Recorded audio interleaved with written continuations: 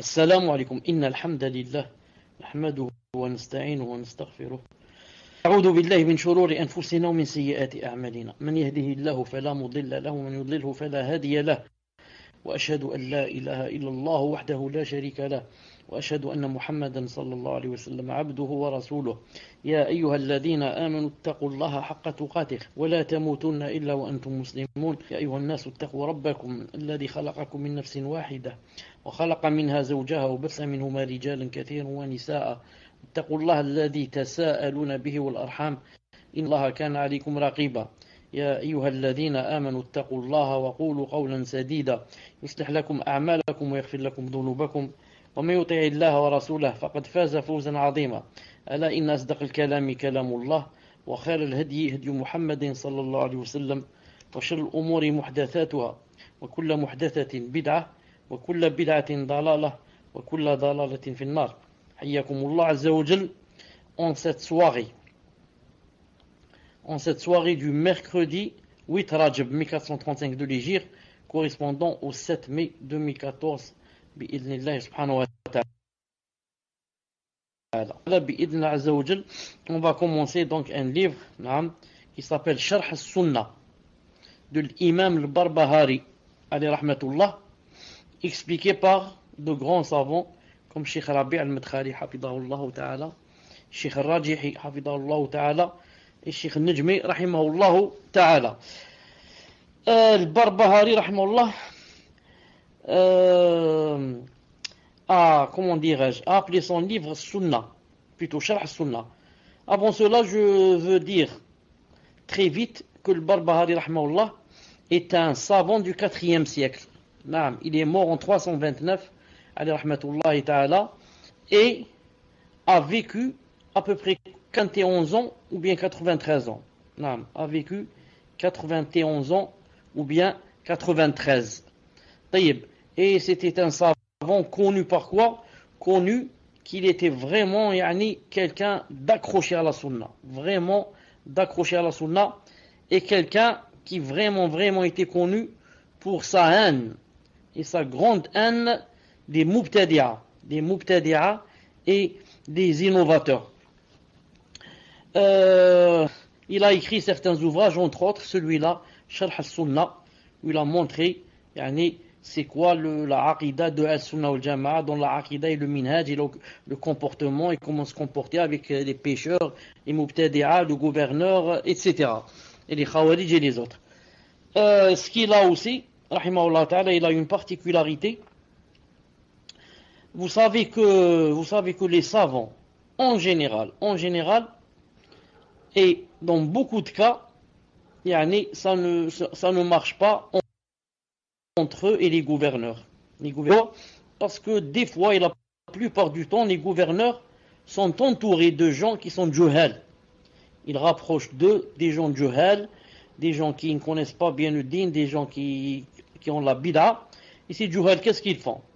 Ils n'arrêtent pas de, de yani, mettre en garde les gouverneurs contre ce savant, contre ce savant, comme quoi il a ramené quelque chose de nouveau, comme quoi il a, il ne marche pas sur euh, la lignée, la lignée de, ceux qui l'ont précédé, comme quoi Zama il est contre le, le gouverneur, et comme ça, jusqu'à ce que ça lui arrive des problèmes. Si on va revenir un peu en arrière, on va dire que Imam Abu Hanifa, lui-même a été emprisonné.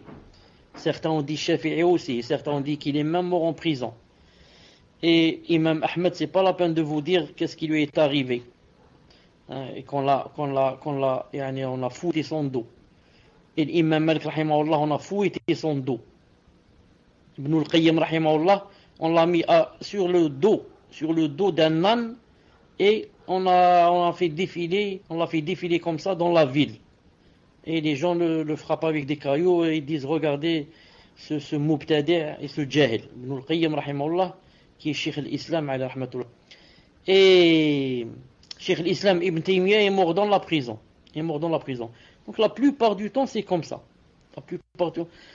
Celui-là, qui a écrit Sharh Sunnah, Barbahari Rahimahullah, qu'est-ce qui lui est arrivé? Lui est arrivé la même chose. Les gens, c'est-à-dire l'entourage du gouverneur, l'ont monté contre lui. quand ils ont monté contre lui, qu'est-ce qu'il a fait le gouverneur?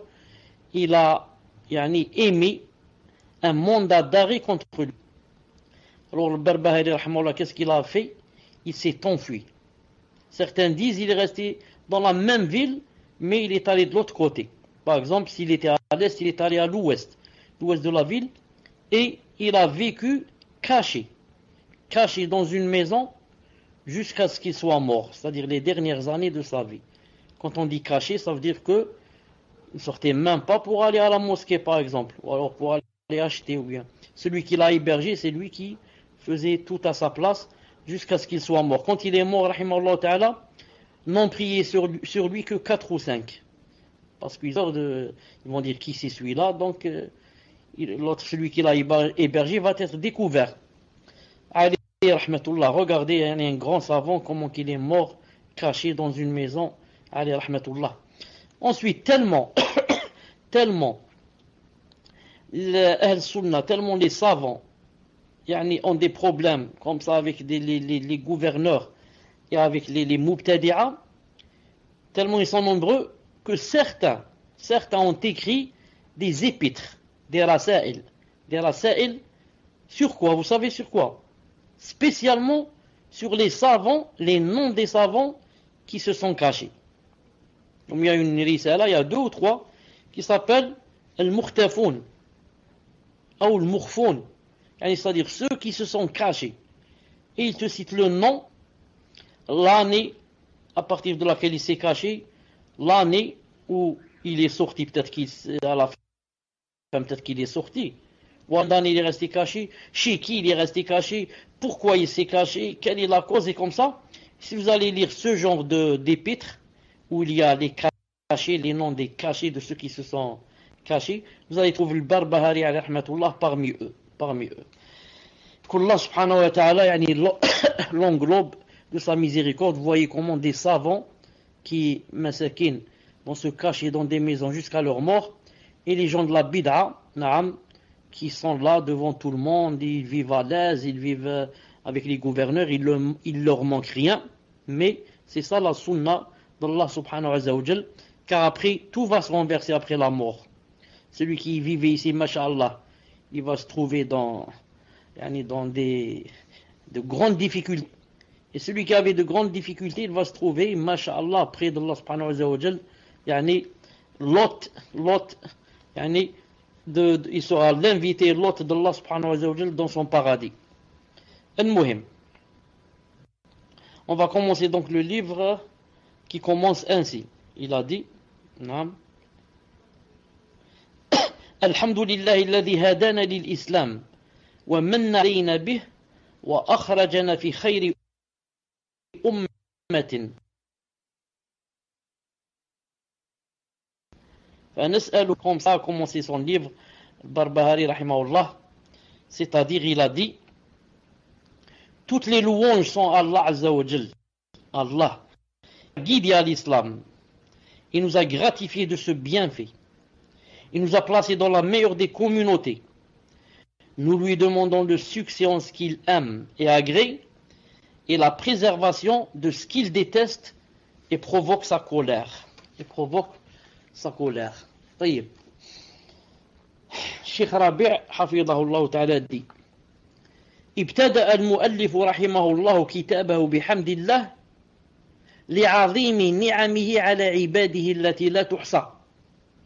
il a dit que Sheikh al-Barbahari a commencé son livre par louer, par la louange d'Allah subhanahu wa ta'ala à cause de ses bienfaits que nul, que personne ne peut compter. Les bienfaits d'Allah que personne ne peut compter. Quelle est la preuve que personne ne peut compter les bienfaits d'Allah Le verset qui suit. Allah Ta'ala a dit وآتاكم من كل ما سألتموه وإن تعدوا نعمة الله لا تحصوها إن الإنسان لظلوم كفار Allah Ta'ala dit dans le Coran il vous a accordé de, ce que, de tout ce que vous lui avez demandé et voilà le témoin et si vous comptiez les biens vous ne sauriez les dénombrer l'homme l'être humain est vraiment très injuste très ingrat Je répète, et si vous allez comptez les bienfaits d'Allah, vous ne saurez les dénombrer. Avec un ordinateur, vous ne pourrez dénombrer les, les ni'mas d'Allah Azzawajal, les ni'am d'Allah Azzawajal, les grâces d'Allah Azzawajal, les, les énormes yani, cadeaux que Allah subhanahu wa ta'ala nous a donnés. Si on va compter les ni'am d'Allah ta'ala, yani, ce serait impossible de les dénombrer. المهم الشيخ ربيع حفظه الله دي وأعظم هذه النعم نعمة الهداية للإسلام il a dit et la plus grande ni'ma qu'Allah Ta'ala nous a donnée et l'immense ni'ma la plus grande qu'Allah Ta'ala nous a donnée c'est quoi c'est de nous avoir guidés à l'islam non, la plus grande ni'ma c'est pas que tu vives 100 ans la plus grande ni'ma c'est pas de, de posséder deux voitures ni quatre femmes ni c'est pas ça la grande ni'ma car tu peux avoir tout cela réuni et aller en enfer éternellement la plus grande ni'ma, c'est quoi? C'est qu'Allah Ta'ala t'est guidé à l'islam. Alors qu'il y a 3 milliards de gens, ou peut-être plus, qui sont dans Et toi, il t'a choisi, il a dit cette personne-là, je vais la guider à l'islam. Je voudrais qu'elle me connaisse. Je voudrais qu'elle m'adore. Je, vais lui faciliter pour qu'elle ait de la science. Et en ayant la science, elle va s'approcher encore davantage connaître son Seigneur davantage, car Jahel ne connaît pas, il le connaît d'une façon générale. Donc c'est la grande, le plus grande ni'ma qu'Allah nous a donné, c'est quoi? C'est l'islam. Que tu saches que pourquoi tu vis et qu'est-ce qu'il y a dans cette vie, quel est le but et qu'est-ce qu'il y a après la mort. Les autres messakines, les pauvres, ils vivent comme des animaux. Ni ne savent d'où ils viennent, ni ne savent ce qu'ils font sur cette terre, ni ils ne savent où ils vont aller. Eux-mêmes, quand ils discutent entre eux, ils s'étonnent. Ils disent, euh, c'est même pas d'où je suis venu. A pas, mon père et ma mère se sont réunis et j'ai été. C'est tout. Qu'est-ce que je fais ici? Je ne sais pas. Tout ce que je sais, c'est je dois boire et m'amuser et profiter au maximum. Où vais-je aller ça, ça, je ne cherche pas à comprendre. Je sais que je vais venir poussière, ça s'arrête là. Non. C'est qui masakin, vraiment masakin. Et d'autres masakin qui essaient un peu de faire des efforts pour savoir où ils vont aller, car c'est un peu intrigant. Comment je vais, je vais mourir, je vais, euh, je vais vivre toute cette, toute cette vie. Ensuite, euh, il y a une fin. Ensuite, ça s'arrête comme ça Sans m'avertir, sans rien, je meurs, je laisse tout. Pas possible. Donc il essaie de deviner qu'est-ce qu'il a après la mort, il ne peut pas. Pourquoi Il n'a pas la lumière il n'a pas la lumière dans le cœur.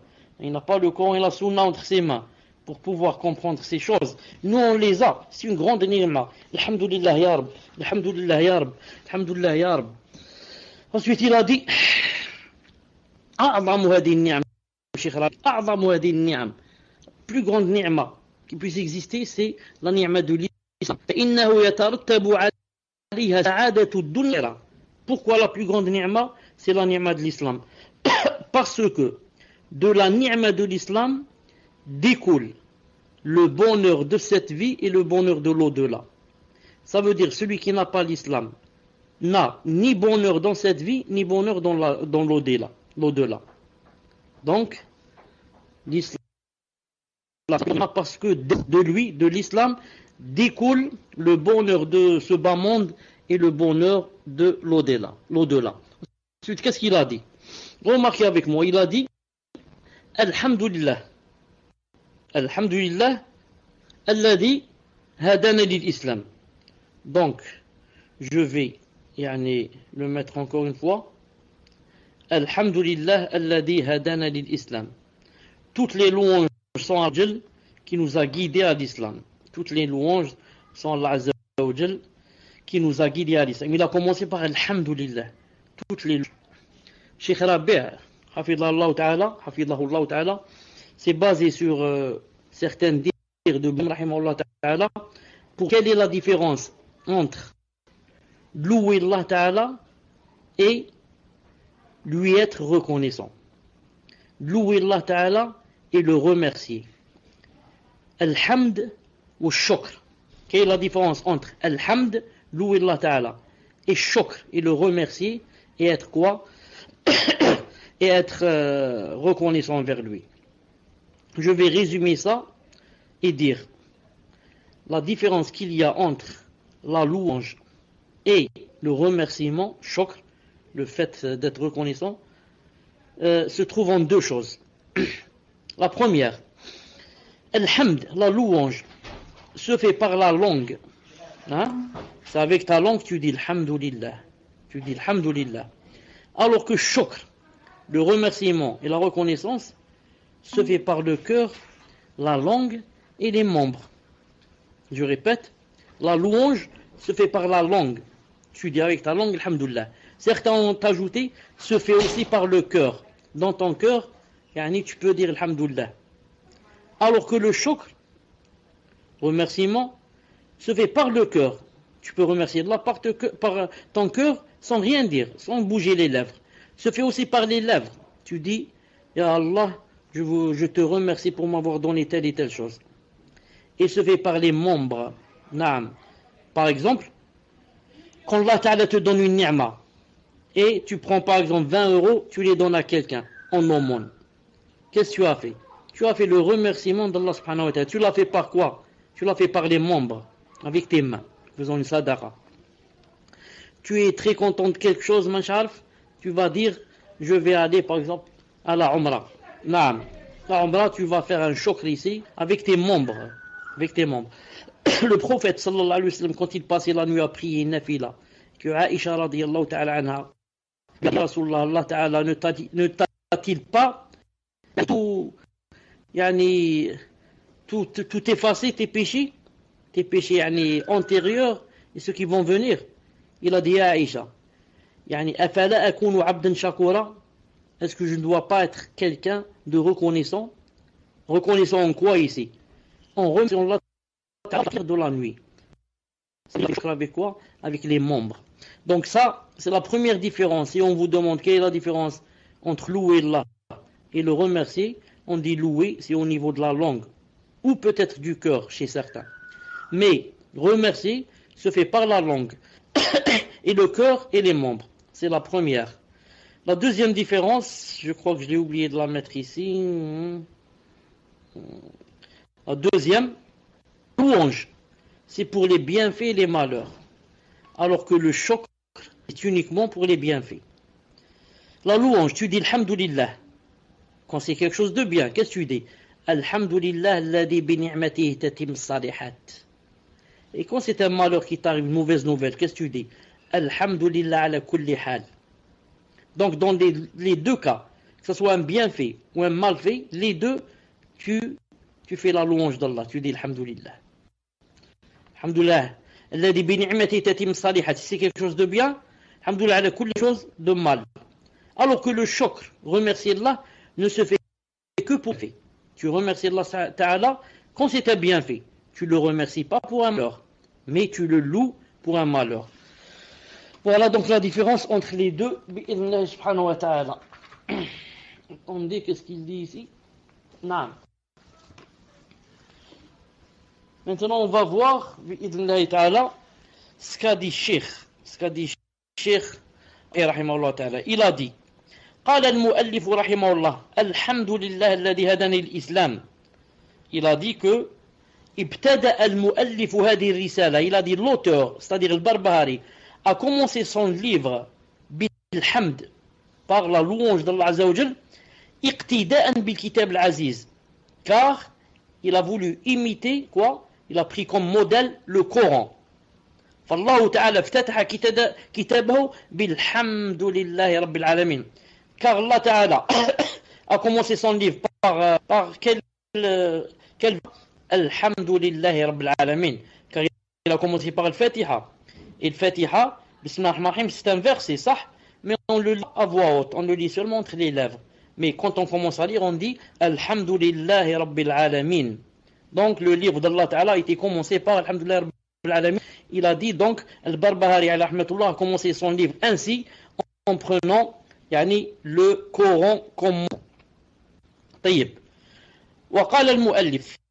Ensuite lorsque le barbari الحمد لله الذي هدانا على الاسلام لونج الله تعالى كي نوزا غيدي على الاسلام الشيخ الراجحي على رحمه الله دي وهذه من النعم المتعديه لو فات كل الله تعالى تي غيدي على الاسلام نعم سي كوا c'est une ni'ma نعم qu'Allah Ta'ala t'a donné نعم c'est une ni'ma qui va être en toi et yani, son bien, Inch'Allah Ta'ala, va aller aussi à autrui. Va aller aussi à autrui. Allah Ta'ala, Allah Ta'ala dit dans le Coran, écoutez ce qu'Allah Ta'ala dit dans le Coran. وقالوا الحمد لله الذي هدانا لهذا وما كنا لنهتدي لولا أن هدانا الله c'est-à-dire et ils diront louange à Allah qui nous a guidés à ceci à ceci à ceci à l'islam et nous n'aurions pas été guidés si Allah ne nous avait pas guidés. Naam. Donc là, le fait qu'Allah t'a guidé, c'est quelque chose qui vient de lui. De lui à toi. C'est une chose, une ni'ma que tu ne peux pas avoir tout seul. Mais c'est une ni'ma qui est venue d'Allah Azzawajal et te l'a à toi, bi'idnillahi ta'ala il a dit Il a dit le fait que tu sois guidé à l'islam, c'est un immense bienfait. C'est un immense bienfait auquel, ou on ne doit remercier que Allah subhanahu wa ta'ala. On ne doit louer que notre Seigneur Azzawajal. Il n'y a aucune personne qui, si Allah ta'ala ne t'a pas guidé, aurait pu te guider. aucune personne dans le monde même si tous les les djinns et les êtres humains vont se mettre d'accord pour guider une personne que Allah Ta'ala décide de ne pas guider, ils ne pourront pas. Le Cheikh dit, rahimahullah ta'ala, حفظه الله فلولا هداية الله لنا بالإسلام مهتدين si c'était pas la guidance d'Allah subhanahu wa ta'ala envers nous jamais on ne serait guidé subhanahu wa ta'ala mais il nous a guidés subhanahu wa ta'ala فنحمده سبحانه وتعالى على نعمة الإسلام donc on le loue pour يعني cette ni'ma cette ni'ma de nous avoir guidés à l'islam ونسأله أن يثبتنا عليه حتى الممات et il a dit on demande à Allah subhanahu wa ta'ala de nous raffermir raffermir nos pas raffermir nos cœurs نعم sur cette ni'ma jusqu'à ce qu'on le rencontre azza wa نعم Ensuite, il parle de l'islam. Quand il a dit que Alhamdulillah, alladhi hadana l'islam. Alhamdulillah, qu'Allah Ta'ala nous ait guidés à l'islam. Il a dit l'islam, huwa. L'islam, c'est la soumission. C'est la soumission. Bit-tawhid. En faisant le tawhid seulement Allah Ta'ala, l'unicité. Wal la servitude d'Allah Azza wa Tu deviens un esclave à qui Allah subhanahu wa ta'ala. Un serviteur. نعم. والذل l'humilité. Tu t'humilies devant personne, seulement pour ton Seigneur. Tu n'es l'esclave de personne, seulement pour ton Seigneur. Tu te soumets à personne. Je ne me soumets qu'à Allah Azza wa Il a dit والانقياد له وهو الاستسلام والانقياد له تعالى بالتوحيد et le tawhid l'unicité j'ai dit tout à l'heure soumission. Maintenant, j'ajoute aussi, yani j'applique. Subordination. Et ceci en, en faisant ce que Allah Ta'ala m'a demandé de faire et en m'éloignant de ce que Allah Ta'ala m'a interdit. En faisant ce que Allah m'a enjoint de faire et en m'éloignant de ce que Allah Ta'ala m'a interdit.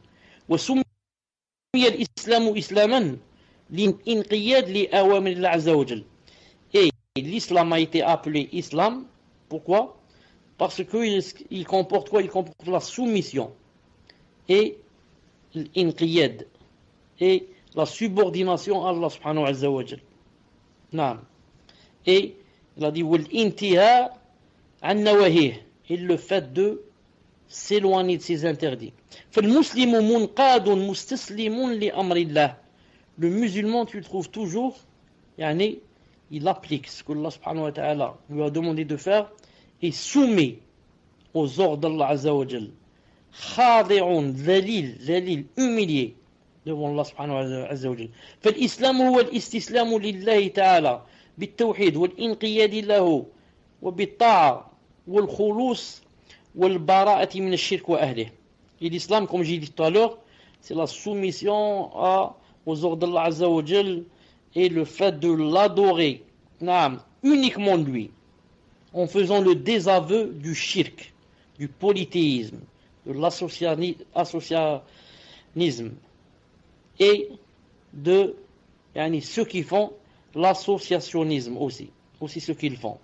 ولهذا قال المؤلف رحمه الله تعالى c'est pour ça que l'auteur a dit الحمد لله الذي هدانا للإسلام ومن عليه به الحمد لله يعني louange Allah Ta'ala qui nous est guidé à l'islam et nous a gratifié de ce bienfait ولا شك أن الله تعالى هو الذي من علينا Et on n'a pas de doute que c'est Allah Azzawajal qui nous a gratifié de ce bienfait. C'est lui qui nous l'a donné sans que on ne soit apte à cela. C'est-à-dire que Allah si guidé à l'islam, c'est parce pas parce que tu as un droit sur lui, ou alors parce que tu mérites ça. Mais il te l'a donné gratifié, il t'a gratifié comme cadeau. Et les gens, les serviteurs n'ont aucun droit sur Allah subhanahu wa ta'ala, n'ont pas de droit sur lui. لكن الله هو الذي تفضل عليه من الله سبحانه وتعالى c'est lui qui a voulu نعم c'est lui qui a voulu les gratifier de ce bienfait نعم sans contrepartie فالله تعالى له النعمة وله الفضل Allah subhanahu wa ta'ala a les bienfaits le bienfait et à la grâce فنحمد سبحانه وتعالى هدانا للإسلام qui nous a l'islam ومن علينا بالإيمان. nous a donné la foi كما قال تعالى a dit Allah subhanahu wa ta'ala في ضعفاء الإيمان. En parlant de ceux qui ont la foi faible. Dans al-Hujurat il a dit عز وجل نون عليك أن أسلموا قل لا تمنوا علي إسلام الله يمن عليكم أن هداكم للإيمان إن كنتم صادقين.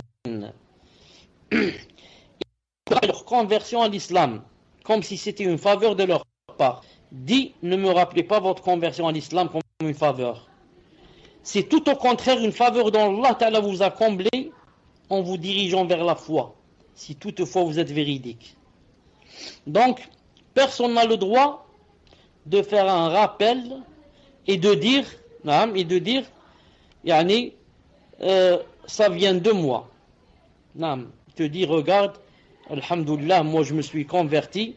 Nam, si je n'avais pas voulu, je m'aurais pas converti, etc. Si tu entends quelqu'un dire comme ça, lis-lui le verset. Dire l'a dit, ne me rappelez pas votre conversion à l'islam comme une faveur. C'est pas une faveur que tu as fait toi, que tu fais à Allah Ta'ala. C'est tout au contraire une faveur que Allah Ta'ala t'a fait en te dirigeant vers, la foi.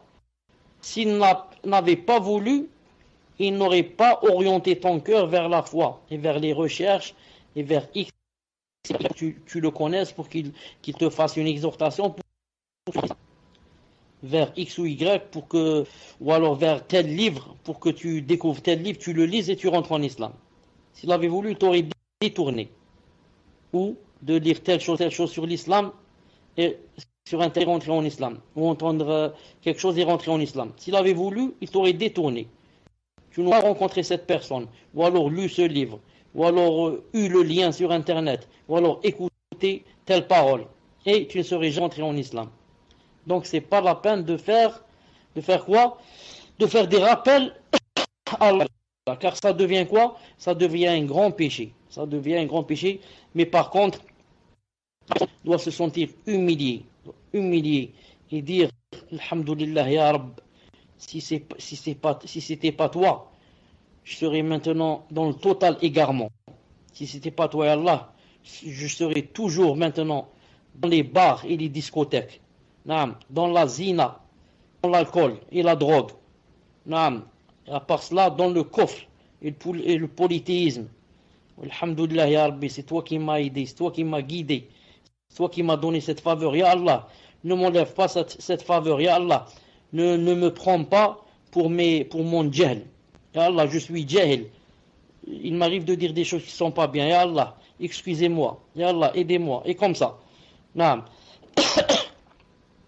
Ensuite, il a dit, Cheikh Rajihi rahmallah a dit, ثم قال المؤلف رحمه الله, il a dit, ensuite l'auteur a dit, وأخرجنا في خير أمة وأخرجنا في خير أمة c'est-à-dire l'auteur a dit et Allah nous donne la meilleure des communautés.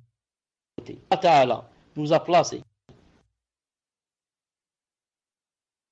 Cheikh a dit des communautés. Cheikh Rajhi explique, explique Rahimahullah Ta'ala. Il a dit, c'est-à-dire, c'est-à-dire qu'on doit louer Allah subhanahu wa ta'ala aussi pour cette chose. Nahmadullah ala l'islam, on doit louer Allah subhanahu wa ta'ala pour nous avoir guidés à l'islam comme il a dit, comme on doit aussi le louer pour nous avoir placés dans la meilleure des communautés. Allah aurait pu te guider à l'islam, mais faire de sorte que tu sois né dans, pas dans la meilleure communauté, que tu sois né dans, la, dans une autre communauté d'un autre Nabi avant notre prophète sallallahu alayhi wa. Certes, ce serait bien, tu serais toujours musulman, mais tu serais pas de la meilleure communauté. Donc ça, c'est une deuxième ni'ma. Tu es parmi la communauté du meilleur prophète, de la meilleure yani, personne que Allah depuis la création du monde. il a dit, donc, donc il nous a placés dans la meilleure communauté. Il a dit, c'est la communauté de Muhammad sallallahu alayhi wa sallam, comme Allah ta'ala dit dans le Coran, كنتم خير أمة أخرجت للناس تنهون عن المنكر وتؤمنون بالله Vous êtes la meilleure communauté qu'on ait fait surgir pour les hommes. Vous aurez le convenant, interdisez le blâme et croyez en Allah Azza wa Jal. Cheikh Rajihi rahimahullah dit وهذه الخيرية إنما حصلت للأمة بالإيمان بالله ورسوله وبالأمر بالمعروف وبالنهي عن المنكر. Il a dit quand Allah Ta'ala a dit vous êtes la meilleure communauté, il a dit cette meilleure communauté a mérité d'être meilleure. Pourquoi Pourquoi elle a mérité d'être meilleure Il a dit, regardez ce qu'il a dit après, car il a dit vous ordonnez le convenable et interdisez le blâmable et croyez en Allah.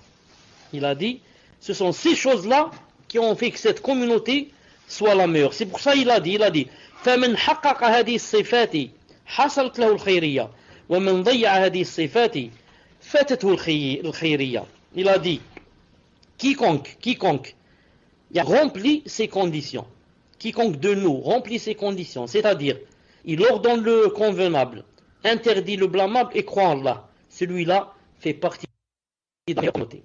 Mais si par contre, il n'ordonne pas le convenable, n'interdit pas le blâmant et ne croit pas en Allah. Il ne fait pas quoi partie de la meilleure communauté, même s'il vit, il vit yani, euh, dans la période de la, meilleure communauté. Il a dit Il a dit La foi en Allah Azzawajal. La foi en Allah, c'est quoi? C'est la base de la religion. C'est la base de la religion. ولكن قدم الأمر بالمعروف والنهي عن المنكر في هذه الآية لأهميتهما وعظم شأنهما لأنهما قوام الدين في الدين كله أمر ونهي Regardez le verset.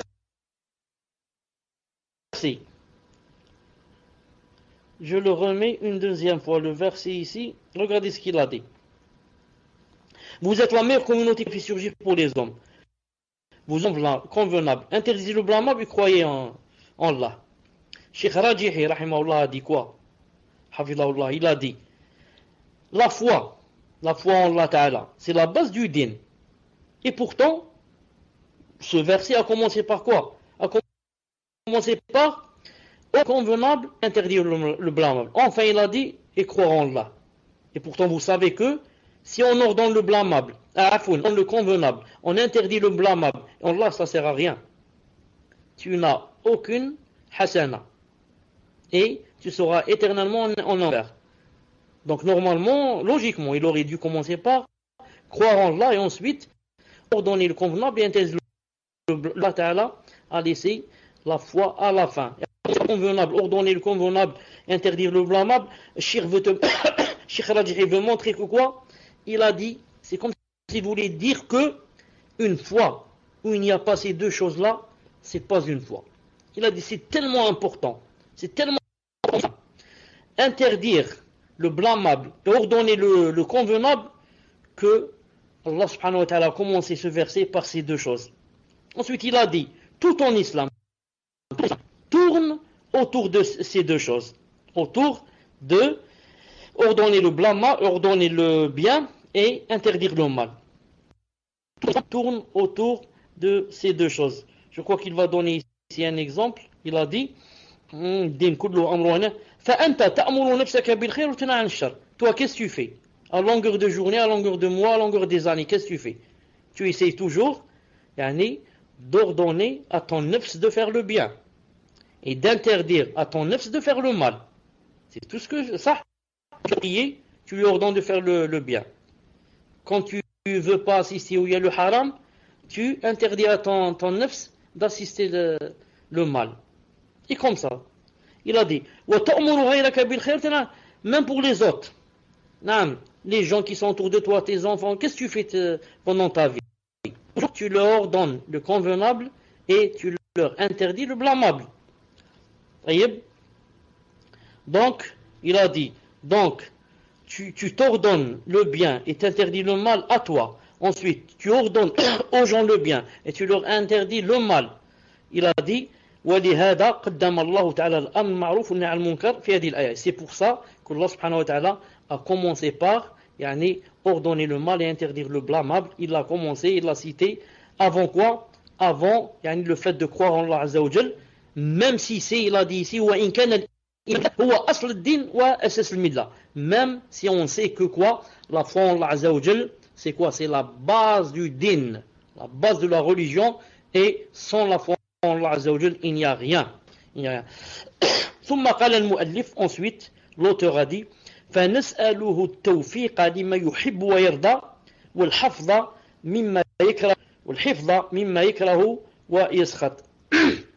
فنسأل التوفيق التوفيق لما يحب ويرضى والحفظ مما يكره ويسخط. C'est-à-dire nous lui demandons le succès en ce qu'il aime et et la préservation de ce qu'il déteste et provoque son, son courroux et son, sa colère. الراجحي حفظه الله حفظه الله تعالى a dit يعني نسأل الله تعالى أن يوفقنا لما يحب c'est-à-dire on demande à Allah Azza wa Jal on demande à Allah Azza wa Jal qu'il nous donne le succès dans ce qu'il aime et ce qu'il agrée vous avez remarqué dans ce qu'il aime et ce qu'il agrée, et ce n'est pas dans ce que nous aimons et nous agréons. Car nous, on a quoi? On a des passions et des tentations. Si tu vas suivre ce que tu aimes, toi, et tu agrées, hein, ça peut être grave. Donc tu demandes à Allah le succès que quoi? Dans ce qu'il aime lui. De façon à ce qu'il t'aide à ce que tu fasses ce qu'il aime lui et ce qu'il agrée. Ce n'est pas ce que tu aimes toi et tu agrées. ما شرعه في كتابه وعلى لسان رسوله Est-ce que Allah Ta'ala aime et agrée C'est quoi C'est ce qu'il a légiféré dans son livre. Ou alors, par le biais de son messager عليه الصلاة والسلام. فهو يحب سبحانه وتعالى من عباده أن يعبدوه ويوحدوه ويخلصوا له العبادة. Allah Ta'ala aime de ses serviteurs qu'ils l'adorent, qui lui font l'unicité, l'unification, tawhid, qu'il soit sincère, qu'il lui voue le culte exclusivement à lui. Et qu'il qu'il fasse, qu'il leur a ordonné de faire, et se démarque et s'éloigne de ce qu'il leur a interdit. Ou tawfiq, quand tu dis, nous lui demandons le succès, il a dit le tawfiq, c'est-à-dire c'est-à-dire l'aide divine. Tu demandes à Allah Ta'ala de t'aider. L'aide divine, ce n'est pas l'aide humaine. C'est l'aide divine qui n'a pas quoi? Qui n'a pas de limite, qui n'a pas de limite. Et c'est une aide que Allah donne spécialement aux croyants. Non, spécialement aux croyants, il ne la donne pas aux والتوفيق من الله والإعانة من الله. لو سوكسي فيان الله إلا فيان الله فالإعانة نعمة جليلة خص الله بها المؤمن دون غيره. لاد لاد que donne الله سبحانه وتعالى وجل certains gens et aux croyants c'est une نعمة اون grande grâce. نعم qu'il a donné aux croyants seulement pas aux الإيمان وكره الكفر الكفر وفسوق العصيان. نعم Et Allah subhanahu wa ta'ala et a embelli dans ton cœur et dans les cœurs des croyants l'iman, la foi. Naam. Wa karraha. Et leur a fait détester le kufr, la perversité et les péchés. Comme Allah Ta'ala dit dans le Coran ولكن الله حبب إليكم الإيمان وزينه في قلوبكم وكسيان هم الراشدون فضلا من الله ونعمه والله عليم حكيم Il a dit Mais Allah Ta'ala a fait aimer la foi et l'a embelli dans vos cœurs et vous a fait détester la mécréance, la perversité et la désobéissance. Ceux-là sont les bien dirigés. C'est là en effet une grâce d'Allah et un bienfait. J'ai écrit une bienfait et un bienfait. Allah est ton message. C'est même pas moi qui ai écrit une bienfait, c'est le programme. Regardez quand on va méditer ce verset. Mais Allah vous a fait, vous a fait aimer la foi. Donc la foi c'est quelque chose qu'on aime, subhanallah C'est pas l'imitation. J'ai trouvé mes, parents qui font la prière. Non. C'est quelque chose que Allah m'a fait aimer. Juste l'amour envers la foi. Il l'a embelli dans vos cœurs. Masha'Allah. Il l'a embelli. Naam. L'a mise belle, la foi. Il a fait d'elle une beauté qui se trouve dans mon cœur. Que seul moi je ressens. Les autres gens ne ressentent pas ce que je sens. Ce que je ressens. C'est pour ça que c'est difficile que je leur explique. Quand je parle avec des gens qui ne sont pas sur les mêmes ondes que moi, non, je parle avec mes parents qui sont loin, je parle des gens qui sont loin, ils ne peuvent pas comprendre ce que je comprends. Ne peuvent pas comprendre ce que j'ai dans le cœur. C'est pour ça que les salafs, qu'est-ce qu'ils disaient les salafs Ils disaient Ya Rabbi, alhamdulillah, alhamdulillah, que les gouverneurs et les, les, les mauvais tyrans et je ne sais pas si les valamas qui, qui étaient comme ça, alhamdulillah, qu'ils ne savent pas, ils ne peuvent pas savoir ce qu'on a dans le cœur. Sinon, ils nous auraient fouettés. Donc, euh, je ne sais pas, le gendarme ou le policier, je ne sais pas qui, il croit il va te frapper un peu, bon, il va t'enlever ton djilbab si tu es une femme ou si ta barbe si tu es un homme, il va croire que c'est terminé, il va dire Alhamdulillah, allez, je, lui ai tout enlevé, las. Celui-là, miskin, il a tout perdu, je lui ai enlevé la, barbe et djilbab, c'est terminé pour lui. Mais il ne sait pas ce qu'il y a dans le cœur qui ne s'enlève pas. Mais c'est pas ce qu'il y a dans le cœur que le croyant a dans le cœur. Ça, il ne le connaît pas lui. Et ensuite, c'est pour ça Ibn il disait toujours la phrase célèbre. Il disait Que peuvent faire de moi mes ennemis? Que peuvent faire de moi s'ils. Comment on dit S'ils. Euh, de la terre, c'est-à-dire ils me font sortir de la terre, ils m'expulsent de la terre c'est pour moi du tourisme. S'ils me mettent en prison, c'est une reloi. Je serai donc seul avec Allah subhanahu wa ta'ala, où, je, peux trouver une ni'ma comme celle-là? Dans la rue, je suis tout le temps avec des gens. Vous allez en prison, masha'Allah. Reloi avec Allah subhanahu wa ta'ala. seul avec lui. Il a dit, mon paradis dans mon cœur. Où je vais, il me suit. Où je vais, il me suit. Vous me mettez dans un puits, mon paradis dans mon cœur. Dans une prison, la même chose. Sous la terre, la même chose. Dans où vous voulez. Faites-moi, il leur lançait un défi. Faites ce que vous voulez, il disait à ses ennemis.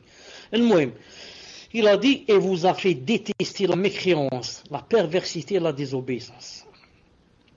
Akhi, ukhti. Ibni, ibnati si tu sens dans ton cœur que tu n'as pas encore détesté la mécréance, que tu aimes toujours la mécréance un peu, tu aimes toujours la perversité un peu, tu as même un peu de nostalgie, et peut-être même dans ton cœur tu dis, ah les beaux jours, les beaux jours sont terminés. Tu dis dans ton cœur, dommage. Mais tu dis pas, tu fais pas bouger tes lèvres, car tu as peur que quelqu'un t'entende. Tu dis seulement dans ton cœur, dommage, là, il y a le bon temps, ceci, cela, c'est terminé. C'est que quoi? C'est que tu n'as pas encore détesté les créances et la perversité. Ça veut dire que ta foi n'est pas encore parfaite. Quand je dis toi, je parle aussi à moi-même. Moi-même, j'ai des instants où je suis comme vous. C'est-à-dire qu'on a la nostalgie du passé, de, de certaines choses qui ne sont pas bien.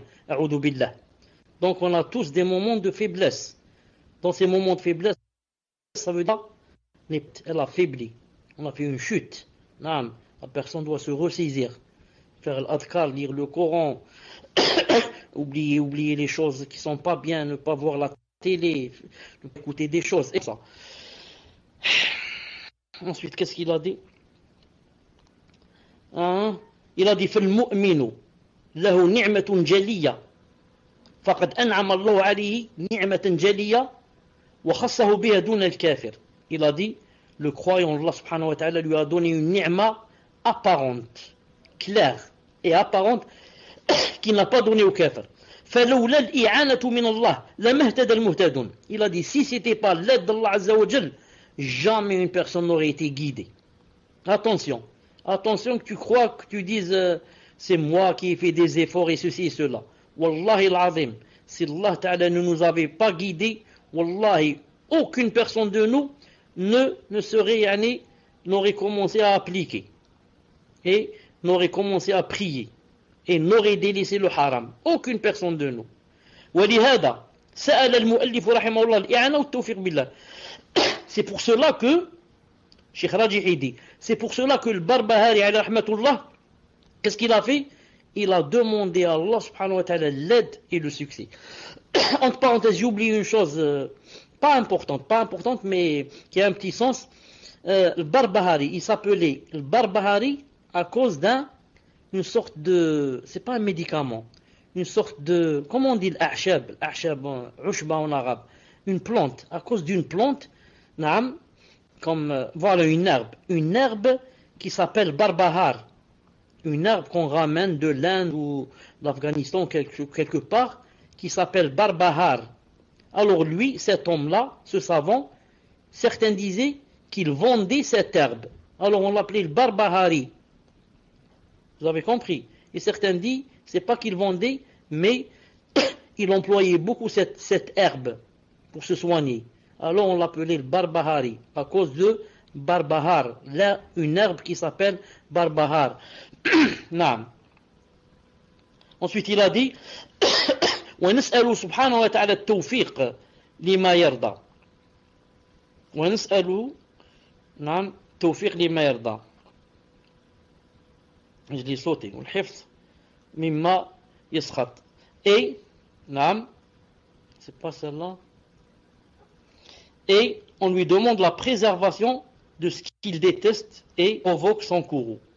Donc on demande à Allah subhanahu la préservation, il a dit on demande à Allah la préservation de, de ce qu'il n'aime pas. D'abord avant cela, on lui demande le succès dans ce qu'il aime et il agrée et la préservation de ce qu'il déteste et provoque son courroux.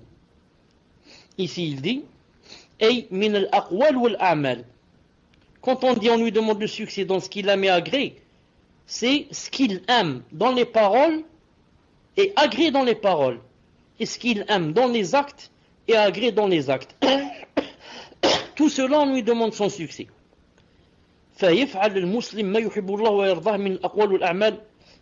Pour que le croyant, si Allah subhanahu wa ta'ala lui exauce donc cette dua, de lui avoir demandé yani, le succès dans ce qu'il aimait, il agrée, la préservation de, ce qu'il détestait, provoque son t'exauce, tu deviendras quoi? Tu deviendras quelqu'un qui fait des choses que Allah Ta'ala aime et s'éloigne des choses qu'Allah Ta'ala déteste, qui dit des paroles et des phrases qu'Allah Ta'ala aime, et s'éloigne des phrases et des paroles qu'Allah subhanahu ta'ala n'aime pas.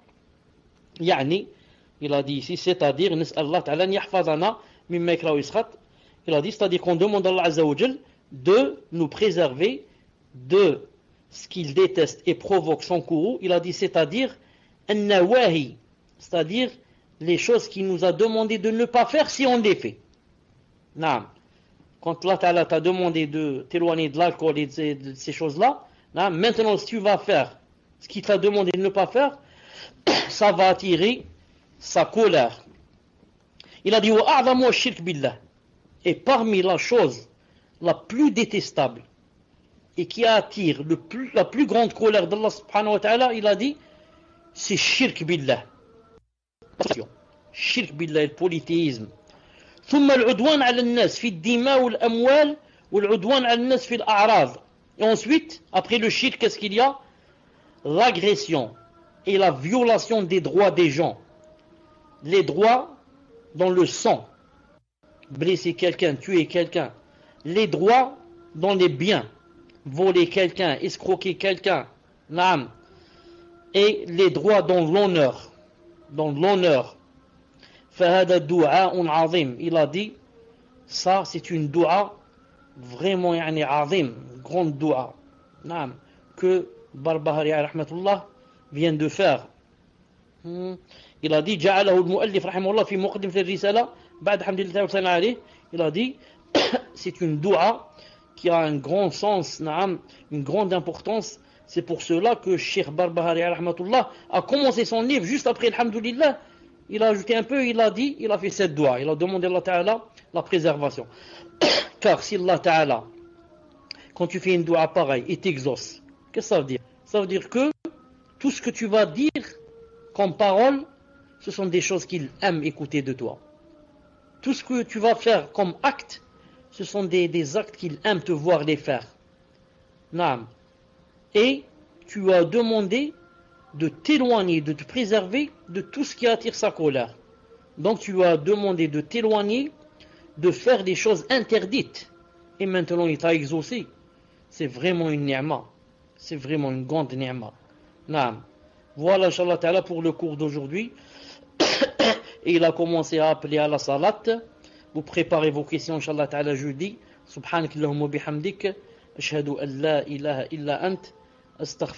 Atubu ilayk. السلام عليكم ورحمة الله وبركاته. السلام عليكم ورحمة الله. تفضل إن شاء الله تعالى pour la première question. Il est 22h ici en Algérie. بسم الله الرحمن الرحيم والصلاة والسلام الحمد لله رب العالمين والصلاة والسلام على رسول الله السلام عليكم ورحمة الله وبركاته Première question, cher. Question d'une sœur qui dit Lorsque Allah Azzawajal créa Adam, Adam salam, il fit sortir de son dos tous ses descendants, et toutes les âmes étaient rassemblées en grande foule. Est-il possible que ces âmes se soient rencontrées et connues à cette époque que nous nous rencontrons avec des personnes, nous disons c'est comme si je la connaissais depuis toujours. Comment expliquer ce phénomène, cher? Donc pour résumer, comment se fait-il que de temps en temps, on voit une personne et on a l'impression de la connaître depuis euh, longtemps, alors que c'est la première fois qu'on la voit normalement?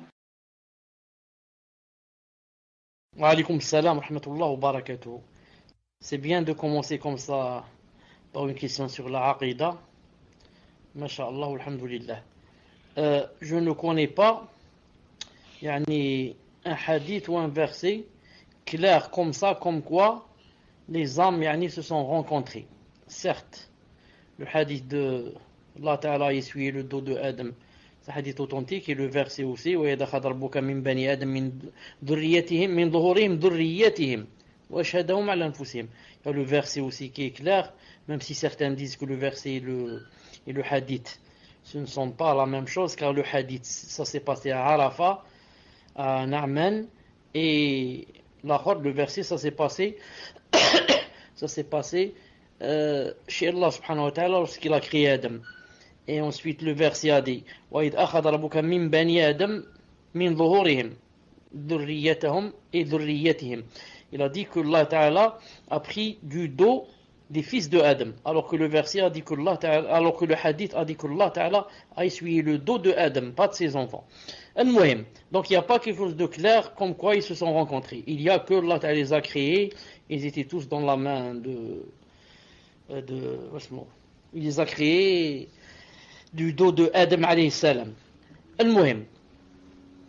Et puis quand il les a créés, il a mis une lumière spéciale sur le visage, certains disent sur la bouche de Daoud alayhi salam, et vous connaissez l'histoire que Adam lui a donné 40 ans de, de, de son âge.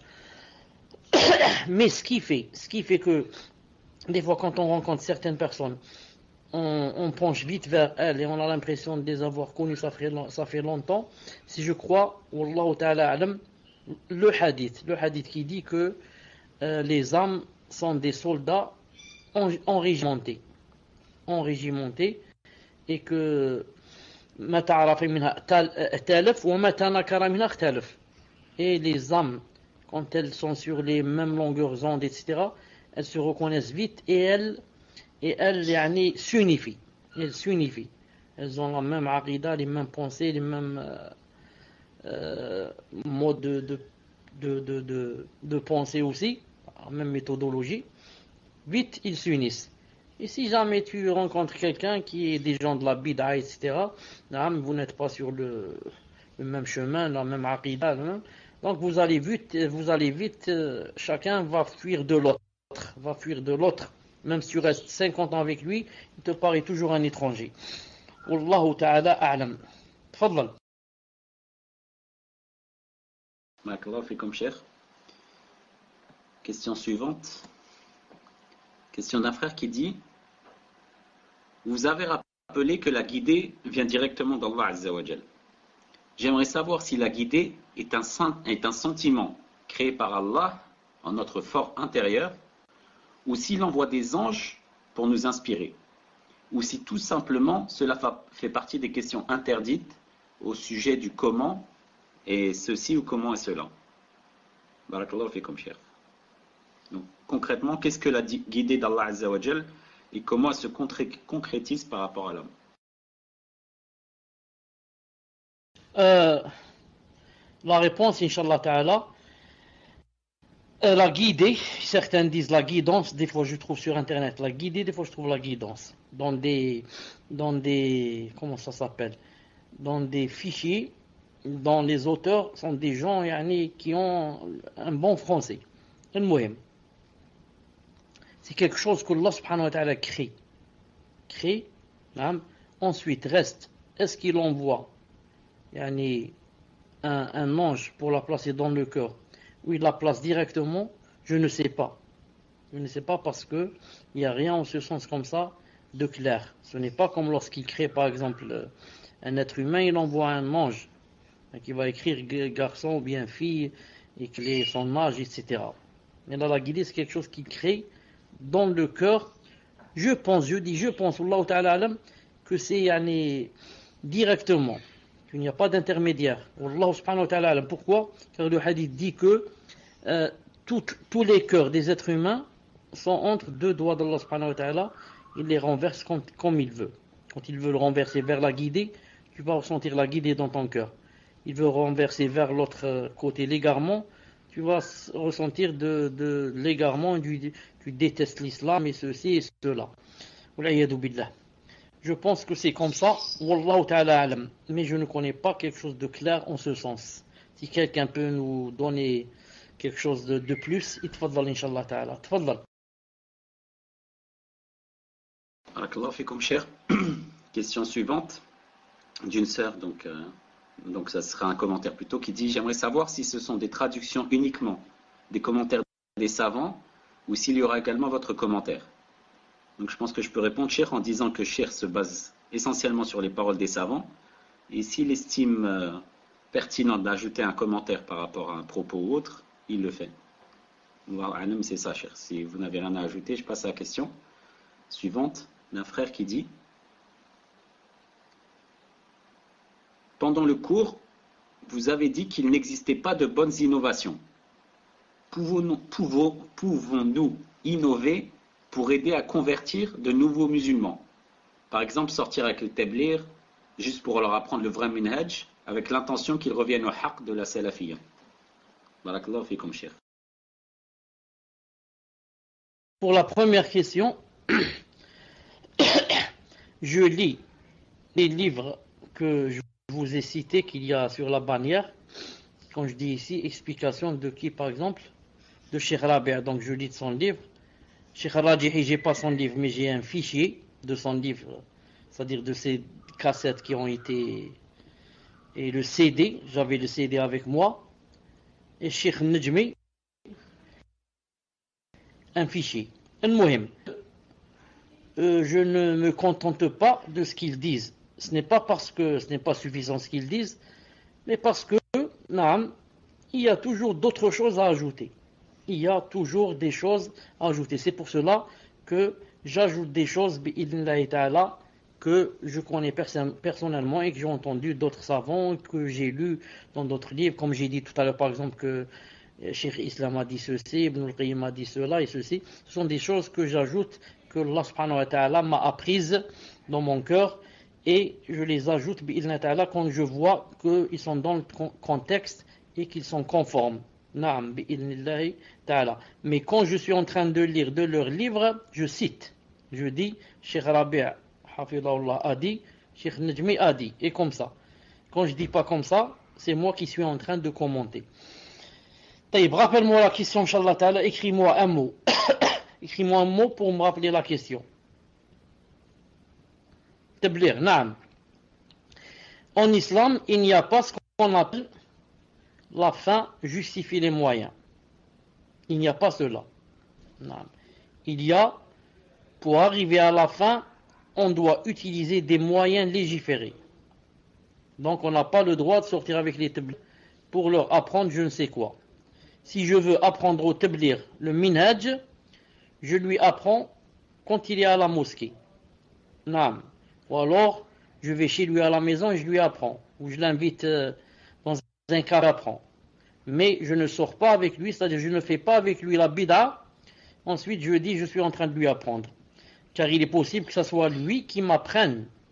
Parce qu'ils sont nombreux quand je sors avec eux je vois leur façon de parler, je vois comment ils sont bien éduqués, comment ils sont gentils, comment ils sont doux, et je vais dire, ceux-là, ils sont, mashallah, ils sont mieux que les salafs. Et tu vas tomber dans le piège. Ensuite, les gens, quand ils vont te voir avec eux, qu'est-ce qu'ils vont dire? Ils vont dire, ils sont, mashallah, j'ai vu des salafis avec eux. C'est pour ça que Sheikh Ben Baz, qu'Allah lui fasse la miséricorde, a dit dans les premiers temps que, Malish, vous sortez avec eux pour leur apprendre.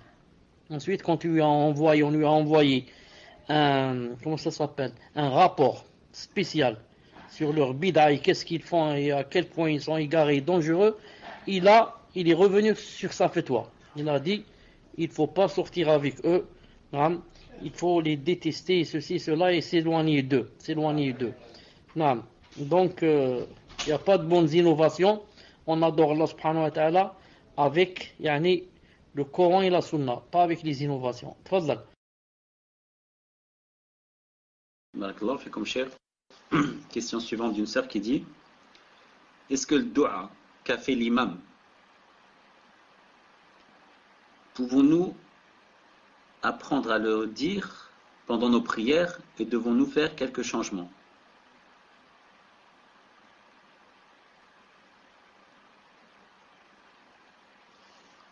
Je découvre la question. Ah, donc voilà, la sœur cite donc le dua et dit s'il est possible de le faire pendant ou vois si elle pas. Est-ce que tu as terminé ta question?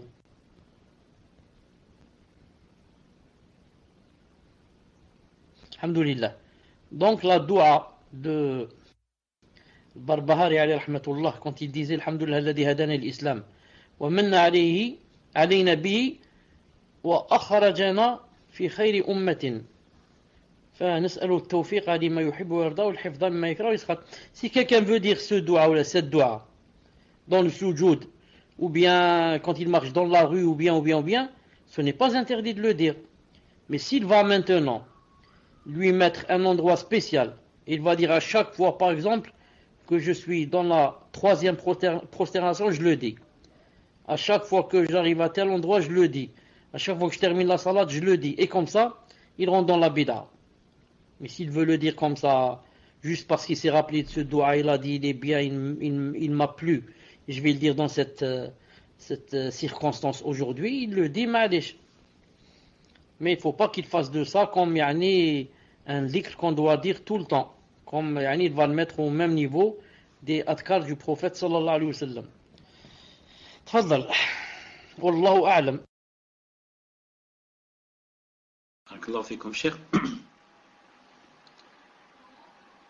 Question suivante d'une sœur qui dit Est-il possible pour une personne de travailler à temps plein alors que l'employeur compte la déclarer seulement à mi-temps Car il y a trop de taxes à payer si il la déclare la personne à, temps plein. Je tiens à préciser que cette personne désire travailler, désirant travailler ne perçoit aucune aide de l'État il s'agit d'une sœur non mariée habitant chez ses parents et éprouvant le besoin de travailler. Donc lui est-il possible de travailler sachant que de travailler sachant que l'employeur ne va déclarer que la moitié?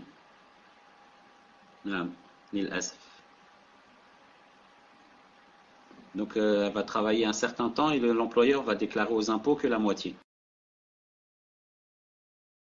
Par rapport à la question précédente, la personne avait dit aussi, est-ce que c'était permis d'ajouter un peu dans la doua de Barbahari ou bien de, de retrancher? Bien sûr, ce n'est pas du Coran, ce n'est pas du Hadith. Tu peux ajouter un mot, retrancher un mot. Ajouter deux mots, retrancher deux mots. Et comme ça, Inch'Allah Ta'ala. Pour la personne qui va travailler chez quelqu'un qui va la déclarer à mi-temps, ça, c'est entre lui et les impôts. Moi, je ne cherche pas comment il va me déclarer. Ah, moi, l'essentiel, il me donne ma paye. Et maintenant, lui, s'il déclare la moitié ou le quart, qu'il ne me le dise même pas. Qu'il ne me dise même pas, c'est entre lui et les autres. Il me laisse tranquille, il ne me fait pas de problème. Tfadal. Cher, donc comme vous avez vu, on est passé aux questions générales. Question suivante d'un frère qui dit nous avons vu que notre foi n'est pas complète tant que nous ne détestons pas la mécréance et les erreurs que nous avons commises dans le passé. Mais qu'en est-il d'une personne qui repense toujours à ses péchés passés avec honte devant Allah et qui a peur de n'être jamais pardonné malgré son repentir? Si les trois conditions de Tauba sont réunies, doit-on être sûr à 100% d'être pardonné ou bien cela rentre-t-il dans le Ouswas ou bien, cher, est-ce que c'est bien de toujours craindre qu'Allah n'ait pas accepté le repentir? Non, ce n'est pas bien.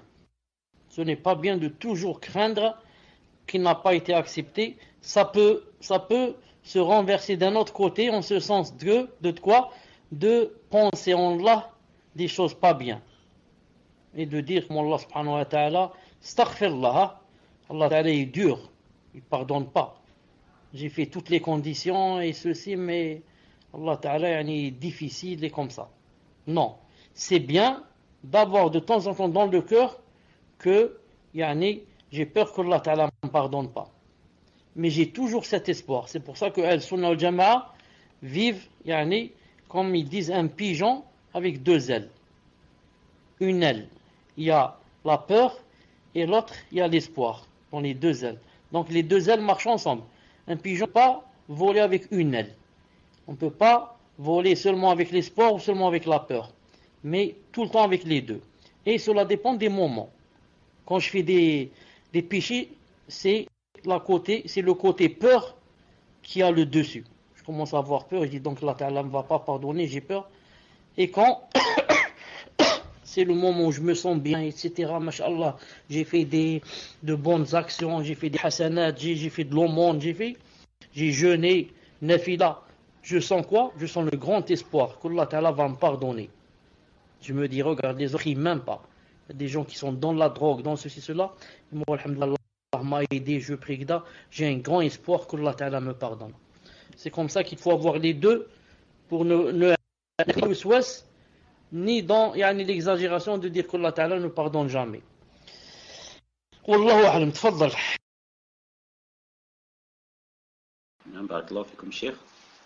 Question suivante d'un frère qui dit Est-il est permis de porter des vêtements d'une marque dont le logo ressemble à un animal, par exemple l'aigle, euh, le puma, euh, comme on a pu voir le crocodile, etc. Et également, est-il permis de porter des vêtements dont la marque a un logo, l'apparence d'un homme, que ce soit l'ombre, une silhouette ou autre? Non, vous savez que en islam, il est demandé de ne pas mettre des vêtements où il y a des, où il y a l'âme, que ce soit un puma, que ce soit un corbeau, ce soit un perroquet. Non, où il y a âme, je dois éviter, surtout, surtout, surtout de prier avec. Certains savants, comme dit Sheikh Ben dans son livre euh, Sharh al-Mumti', il dit certains savants sont de l'avis que celui qui prie où il y a des, de l'âme, des animaux, a une personne ou là, il dit que sa salat est nulle. Certains dit comme ça. C'est pour ça qu'il a cité une chose. Il a dit, si maintenant une personne, on va citer l'exemple d'un homme, quand quelqu'un, un homme est torse nu, ensuite il va mettre un tricot, ce qu'on appelle par exemple un tricot de peau. Un tricot de peau où il y a par exemple un lion, on voit un lion. Ensuite, sur le tricot de peau, il a mis une chemise ou un pull vert. Maintenant, si on va le voir, qu'est-ce qu'on va voir? On va voir le pull vert. On ne peut pas voir le lion qu'il y a en dessous, c'est-à-dire sur le tricot de peau. Il a dit, s'il prie comme ça, sa salat est nulle. C'est-à-dire, s'il avait fait le contraire, le pull vert d'abord, ensuite le, le, tricot de peau. bien sûr, ça ne se fait pas, mais juste que vous compreniez. Si c'était le tricot de peau qui était, pas le premier, mais le deuxième qu'on voit, il a dit ici, beaucoup de savants ont dit ça, ça est, est accepté, et il a dépêché. Non. Je demande maintenant à l'un de vous vous êtes 247 sur la salle, s'il y a quelqu'un qui peut me dire pourquoi il a dit comme ça, Cheikh Ibn Moi, si je vais logiquement, je vais dire c'est le contraire. Si maintenant le lion est visible, il l'a mis en deuxième position, on le voit, c'est lui qui annule la salade. il a dit le contraire. Si tu le mets à l'intérieur, ensuite tu le caches avec un autre euh, vêtement, c'est là que ta, ta salade est nulle. Qui peut me dire pourquoi? Entre-temps, on passe à une autre question. Donc la question suivante d'une sœur qui dit Voilà, quand j'étais enceinte de mon deuxième enfant, j'ai demandé à Allah Azzawajal, en sujoud, dans une des prières, de m'accorder une fille. Et j'ai dit Oh Allah, je te promets de faire des efforts dans la religion si tu m'accordes une fille. Voilà, j'ai une fille maintenant, mais je demande si la phrase que j'ai dit compte comme un sermon ou pas et si je dois faire une expiation du sermon. fait comme chef. Naam, tu as fait un vœu et demander à Allah subhanahu wa cette chose. Maintenant, tu n'as pas d'expiation à faire. Tu as, fait des efforts dans la religion. Tu dois, ta'ala, tenir ta promesse et quoi? Et faire des efforts autant que tu puisses. Allah ta'ala ne te demande pas de faire ce que tu ne peux pas faire. Mais quand tu peux, faire une chose, fais-la bi'idna ta'ala, regarde comment Allah subhanahu wa ta'ala et regardez maintenant la personne, comment on est ingrat, que vite on oublie, et que si c'est possible, on demande il y a une expiation comme quoi on se détache de ce vœu. La personne ne doit pas être comme ça. Elle dit Alhamdulillah, Allah ta'ala m'a exaucé. Quand je peux faire une chose, je la fais. Quand Allah Ta'ala ne m'a pas dit tu es forcé de faire cette chose. Naam. Que Allah Ta'ala t'aide. Tfaddal. Allah fait comme cher. Question suivante d'un frère qui dit Une personne m'a envoyé un audio dans lequel Sheikh Ibn Al-Taymi fait des éloges sur un groupe de Dawa Tableri. Cette personne croit que Sheikh défendait les Tablir. Elle est aussi d'avis qu'il ne faut pas se dire salafi car cela crée de la division Il dit qu'à l'époque du prophète cette expression n'existait pas et donc il n'y a pas de raison de l'utiliser à notre époque. Pouvez-vous, comme nous faire des rappels sur les paroles des savants concernant le tablir et sur le fait de se dire salafi? Barakallahu fikum.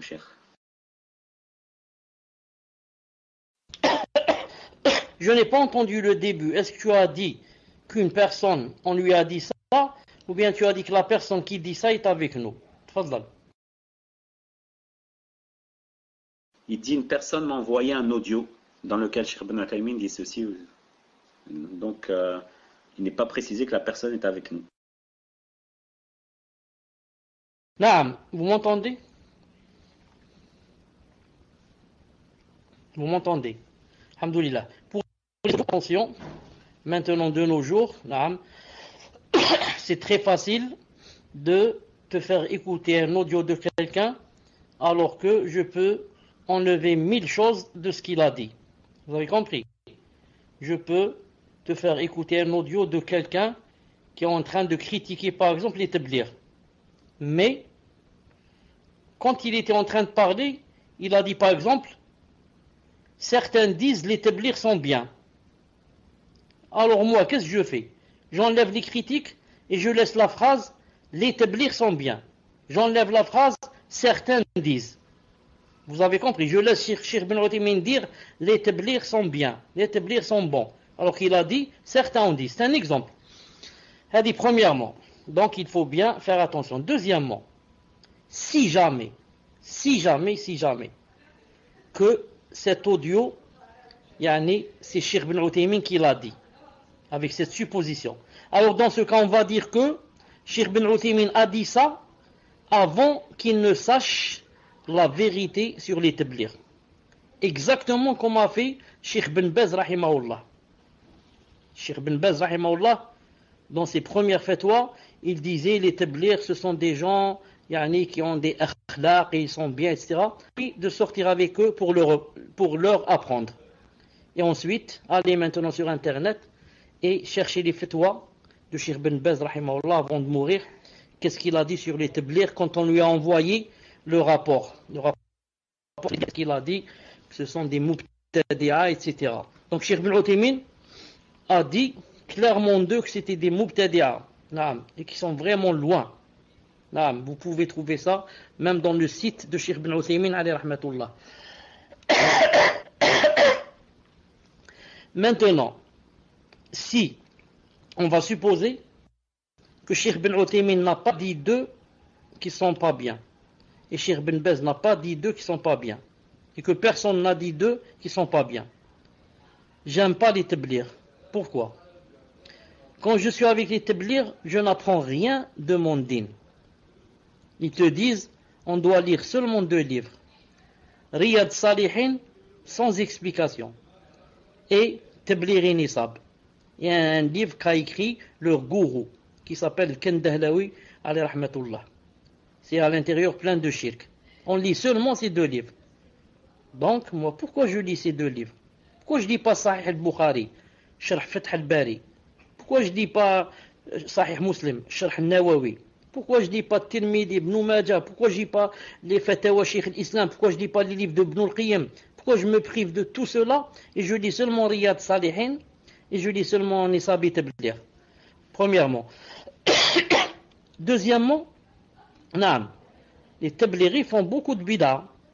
Entre autres, ils partent 40 jours et des fois 3 à 4 mois, loin de leur pays, en délaissant leurs femmes et leurs enfants, comme ça. Des fois même sans nourriture. Non.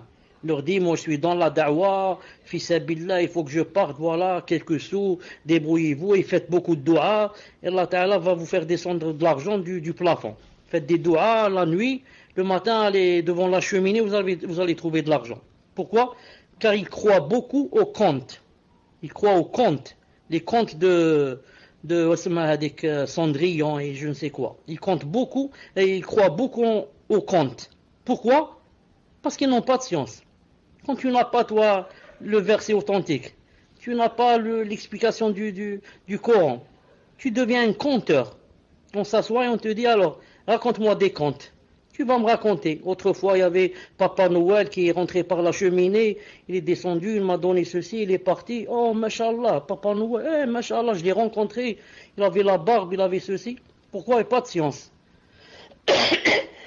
Donc, les qu'Allah Ta'ala les guide, qu'Allah Ta'ala les guide, qu'Allah Ta'ala les guide. Ensuite, ils sont vraiment contre la sunna. Vraiment. S'ils savent, tu es un salafi, tu suis le Coran et la sunna, et zama tu dis, قال الألباني قال الشيخ بن عثيمين لا vite ils te mettent يعني, comme ennemi ennemi et ils ont aussi cette chose que ils travaillent beaucoup avec la police ils travaillent beaucoup avec la police et peuvent te vite peuvent vite déposer une plainte contre toi et te faire encercler la mosquée. qu'Allah ta'ala les guide qu'Allah ta'ala les guide. Quant à quant à dire salafi je suis salafi ou je suis salafia euh, et dire que ça c'est pas dit au temps du prophète donc on ne le dit pas. Ça c'est pas vrai. Pourquoi? Car au temps du prophète sallallahu alayhi wa sallam on n'avait pas besoin de dire salafi. Pourquoi? Parce qu'il n'y avait pas il n'y avait pas quoi quelque chose qui contrait la salafia ils étaient tous unis autour du prophète sallallahu alayhi wa sallam ils n'avaient pas besoin de rien. Le prophète islam suffisait. Tu dis, je suis musulman, je suis Allah Ta'ala et son prophète sallallahu alayhi wa sallam. Ensuite, quand il est mort sallallahu alayhi wa sallam, et des années après, des siècles, qu'est-ce qui s'est passé?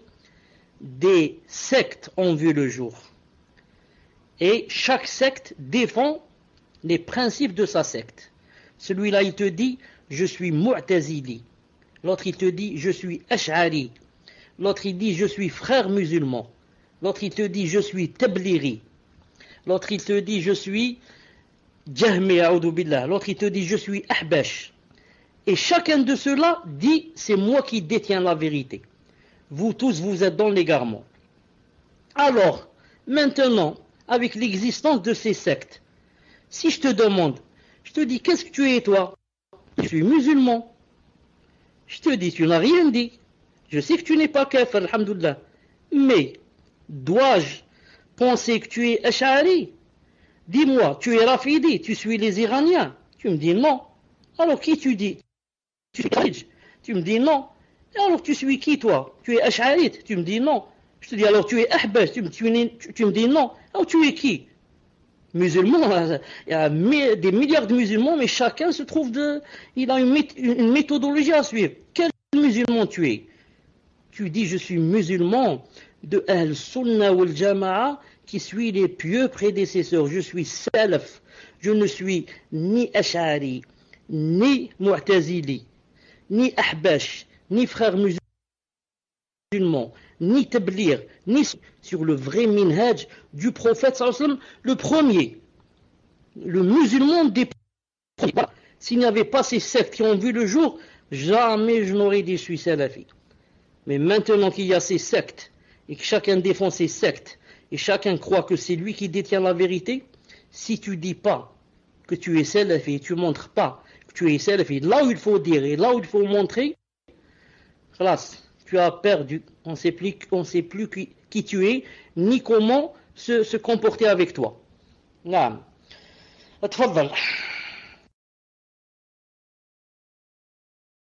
Comme cher.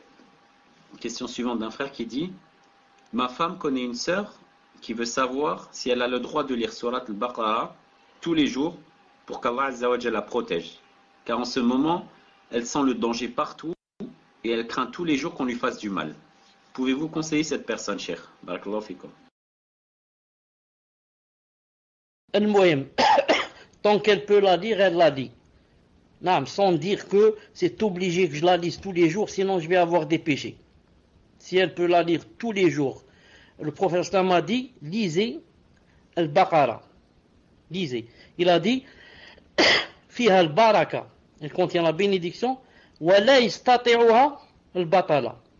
Et les sorciers ne peuvent, ne peuvent rien contre elle. Comme ça, il a dit. Il a dit, lisez le Baqarah. Elle contient la baraka. Et les sorciers, batala, ne peuvent rien contre elle. Elle les détruit. Maintenant, si tu veux la lire tous les jours, tu es libre. Mais attention, attention de dire que c'est une sunna et que c'est obligé que je lise, sinon j'ai des péchés, et hier j'ai pas lu, donc il va en enfer. Attention que tu dis cela, ou que tu dises aux gens, il faut, il faut que vous la lisiez. Ça se lit une fois par jour. Attention seulement moi je lis à cause des problèmes, sorcellerie, etc. Et il faut la lire tout le temps. Il y a une grande différence entre les deux. Tfadlal.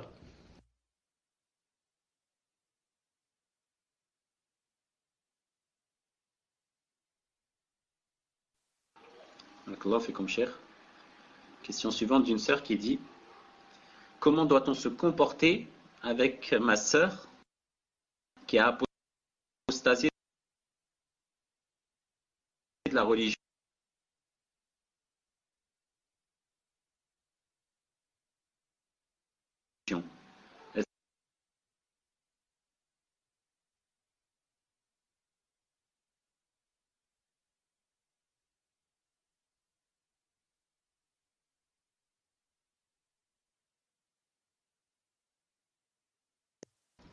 ça coupe beaucoup, beaucoup chez toi.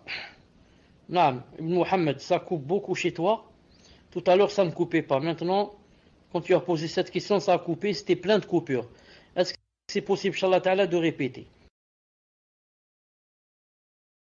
Je vais essayer, cher. Dites-moi si ça coupe. Alhamdulillah. Donc la question de la sœur est comment doit-on se comporter avec ma sœur?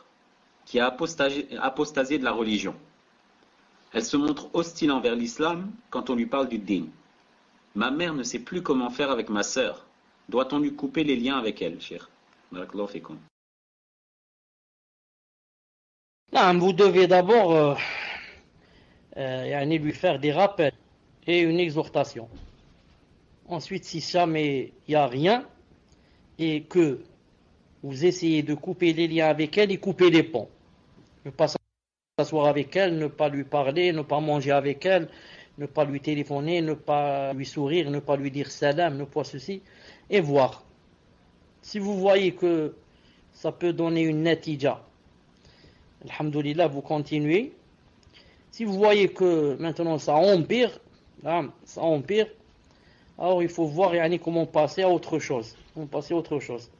Mais il faut essayer d'abord de lui donner des rappels avec douceur et avec hikmah ou, alors de lui faire venir quelqu'un qui a un peu de science pour lui parler avec hikmah et comme ça. Si ça ne marche pas, vous essayez la deuxième qui est, comme j'ai dit, l'isolement et son exil Et de toute façon, elle ne se fait du mal qu'à elle-même. Elle ne se fait du mal qu'à elle-même. Elle ne peut jamais vous faire du mal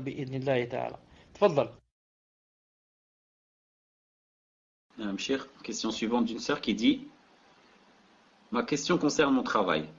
Je suis coiffeuse à domicile pour femmes, mais je ne coiffe que les femmes voilées. Ai-je raison d'agir ainsi, cher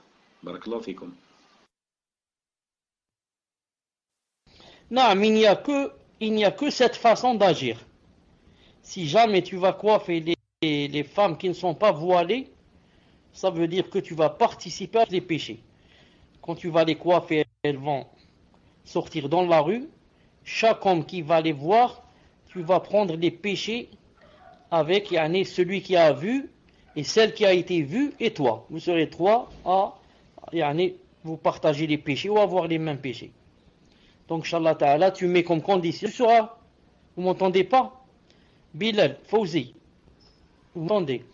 Donc, tu ne coiffes que les femmes voilées et ensuite la, la, la publicité va marcher. Non, ça va marcher comme quoi cette coiffeuse ne coiffe que les voilés. Ensuite, que les voilés, bi'idnillahi ta'ala. Comme cher question suivante d'un frère qui dit Minhaj al-Muslim, la voix du musulman Karl Jazairi. comme cher.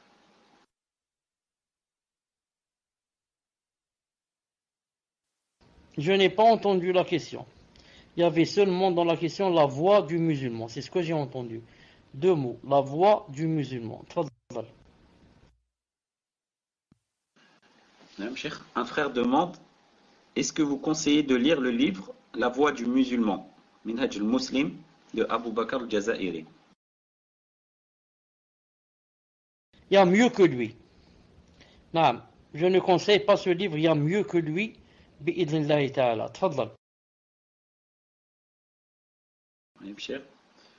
Question suivante. D'une sœur qui dit Est-il permis, de retirer, est-il permis à une femme de retirer son voile devant son beau-père, le mari de sa mère?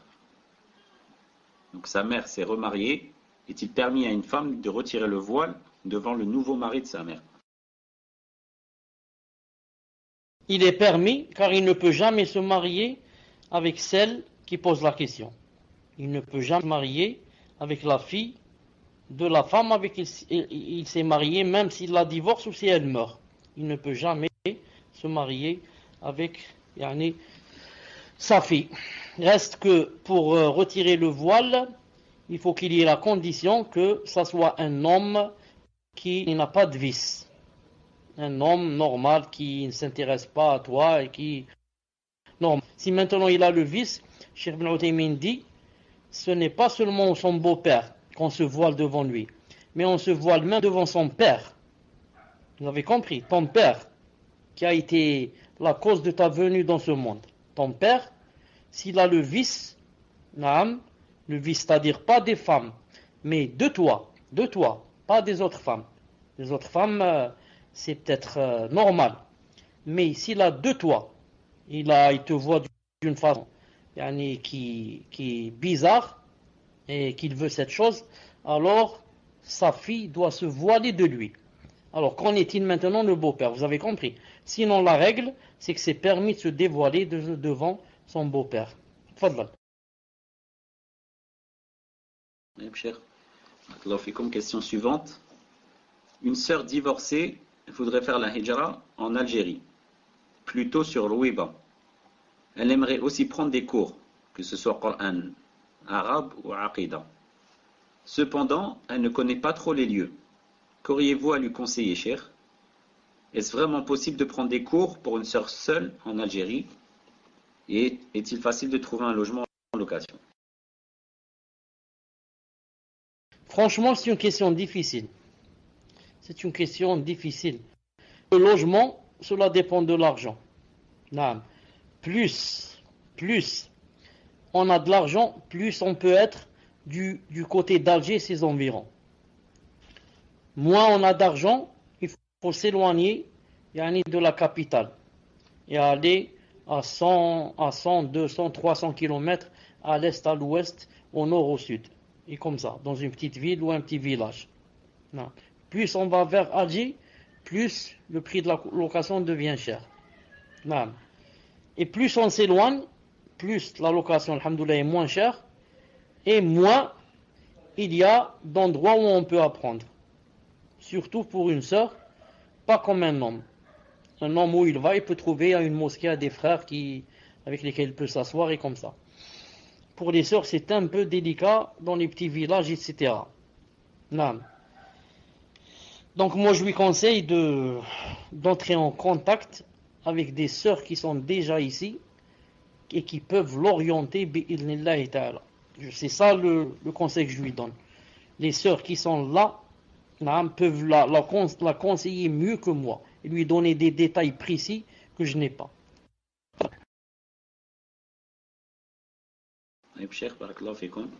Je tiens juste à dire qu'il y a pas mal maintenant de forums de sœurs où notamment les sœurs qui ont fait la hijra en Algérie et ailleurs donnent des conseils et parlent de leur expérience. Donc euh, la sœur peut se tourner vers ces forums aussi. Donc question suivante d'un frère qui dit concernant la question de la sœur sur les impôts, donc celle de tout à l'heure. Nous devons déclarer en fin d'année ce que l'on a travaillé. Est-ce que cela de ne pas déclarer des heures de travail déclarées? Donc en résumé, cher, de temps en temps, donc certaines personnes, par exemple, travaillent 100 heures dans le mois, mais leur patron va déclarer 50 heures. Et à la fin de l'année, pour les impôts, il faut déclarer le nombre d'heures travaillées. Donc lui, va devoir déclarer ce que le patron a déclaré, c'est-à-dire les 50 heures, par exemple. Est-ce que cela rentre dans le mensonge? J'ai pas bien compris la question. Oui, Pierre. Donc, une personne, par exemple, peut travailler pour une société 100 heures dans l'année. Et à la fin de l'année, il faut déclarer aux impôts en France ce qu'on a travaillé. Ce n'est pas comme en Algérie. Il faut travailler. En France, il faut déclarer combien d'heures as-tu travaillé dans cette année. Sachant que son patron à lui n'a déclaré que 50 heures aux impôts, alors que lui en a travaillé 100. Est-ce que ça rentre dans le mensonge que lui, lors de la déclaration aux impôts, déclare aussi 50 heures Il dit Moi j'ai travaillé 50 heures, sachant que lui en a travaillé 100. S'il a travaillé 100 et son patron a déclaré 50 et que cette personne va déclarer 50. Quand elle va déclarer 50, est-ce que c'est pour son avantage ou bien c'est contre lui? Je ne parle pas du patron, je parle de la personne. Quand elle va dire j'ai travaillé 50 au lieu de 100, c'est pour elle ou là c'est contre elle ben En fait, moins la personne va déclarer d'heures, moins elle aura d'impôts à payer. Si elle déclare 50 heures, peut-être qu'elle n'aura même pas d'impôts à payer. Mais si elle déclare tout, elle aura peut-être beaucoup d'impôts à payer. Donc moins elle déclare, moins elle paye d'impôts. Et pareil pour le patron, moins il va déclarer, moins il va payer de charges pour cette personne. D'accord, mais j'ai pas compris une chose. Moi, ce que je sais, c'est que c'est le patron qui déclare, ce n'est pas le travailleur. N'est-ce pas? C'est le patron qui doit dire voilà euh, combien qu'il a travaillé chez moi. C'est pas sinon, sinon celui qui travaille, si c'est lui qui déclare. Personne ne va dire la vérité. Explique-moi. C'est pour ça en fait, cher, que je disais en France, c'est pas comme en Algérie. Parce qu'en France, non seulement le patron remplit, mais même lui, même chaque personne va déclarer en France. Même si elle ne travaille pas, les personnes font une feuille aux impôts. Elles disent qu'est-ce qu'elles ont comme revenus cette année, combien elles ont gagné, etc. C'est un peu différent de l'Algérie. Ce que je sais, c'est que les impôts, c'est haram. Comme aujourd'hui, quand je suis allé prier le Maghreb, j'ai rencontré quelqu'un jeune, masha'Allah. Il m'a dit, eh, Cheikh, Alhamdulillah, Dieu, Allah subhanahu wa ta'ala m'a ouvert ses portes. Qu'est-ce qu'il y a? Il m'a dit, j'ai changé de travail parce qu'il était dans un travail où de temps en temps, il ratait Jumu'ah. Car c'est un, comment que ça s'appelle? Un, Une sorte de gardien. Gardien, donc il doit surveiller. Il ne peut pas aller prier à Jumu'ah. Il m'a dit, Alhamdulillah, masha'Allah, j'ai changé de, de, de khadma. Je lui ai dit, Alhamdulillah, Alhamdulillah. Alors tu es où? Voilà, agent de sécurité. Tu es où maintenant? Il m'a dit, Alhamdulillah, maintenant je suis dans les impôts. Alhamdulillah, maintenant je suis dans les impôts. Ah, tous les impôts, alors c'est bien. Il m'a dit oui, il donne beaucoup d'argent et tous les six mois il donne une prime, machallah. Hmm. Je lui ai dit, mais est-ce que tu as, tu as cherché si les impôts c'était haram ou si c'est halal? Est-ce que c'est, c'est, halal de travailler dans les impôts? Ah, il m'a dit, subhanallah. C'est-à-dire, ouais, ça commence les problèmes maintenant. Il m'a dit, oh, même les impôts, oh, qu'est-ce qui se passe? Il m'a dit, pourquoi, yani, je crois que ça marche pas. Je lui ai dit, tu sais pas, Yannick, que les impôts. Ah, il m'a dit maintenant, donc, euh, il, faut, il faut me chercher, hein? ah, il, faut, me donner une réponse. Je lui dit, d'accord, après donner la réponse. Ça, c'était Salat al-Maghrib, Inch'Allah ta'ala. Donc, les impôts, c'est haram. Eh, naam, lui, qu'est-ce qu'il m'a dit? Il m'a dit, moi, je ne travaille pas, c'est-à-dire maintenant dans les impôts, je surveille seulement. Je surveille le directeur. Le directeur, j'ai un bureau devant lui, je le surveille. C'est pas qu'il le surveille s'il fait des fautes ou là. C'est-à-dire il le, le garde, il le garde pour qu'on lui fasse rien. C'est comme un garde du corps. El Mohim, comme dit Cheikh Al-Albani, dit certains, si je peux, si je peux ne pas déclarer tout ce que j'ai aux impôts, je le fais. À condition de ne pas mentir. C'est un peu comme euh, si j'ai si j'ai 100 euros dans ma poche, et tu me dis par exemple combien tu as de l'argent dans ta poche, par exemple, je te dis j'ai 50 euros. En fait, je n'ai pas menti. J'ai 50 et j'ai 60 et j'ai 70, j'ai 80, j'ai 90, j'ai 100. Moi, quand j'ai dit j'ai 50, j'ai pas menti. Je te mens si je te dis j'ai 110, alors que j'ai 100 euros dans ma poche. Vous avez compris? C'est-à-dire je joue un peu, sur les mots en disant j'ai 50, j'ai pas menti car dans les 100 j'ai 50. Donc, mais si tu me dis est-ce que tu as 100 euros ou tu n'as pas 100 Et je te dis j'ai 50, j'ai menti. Je dois dire j'ai 100. Il y a une différence. C'est pour cela que pour les impôts, si quelqu'un sait comment jouer avec les, les chiffres, etc., il n'est pas obligé de déclarer exactement ce qu'il fait parce que c'est de l'argent de, de haram qu'on va lui prendre. Non. تفضل.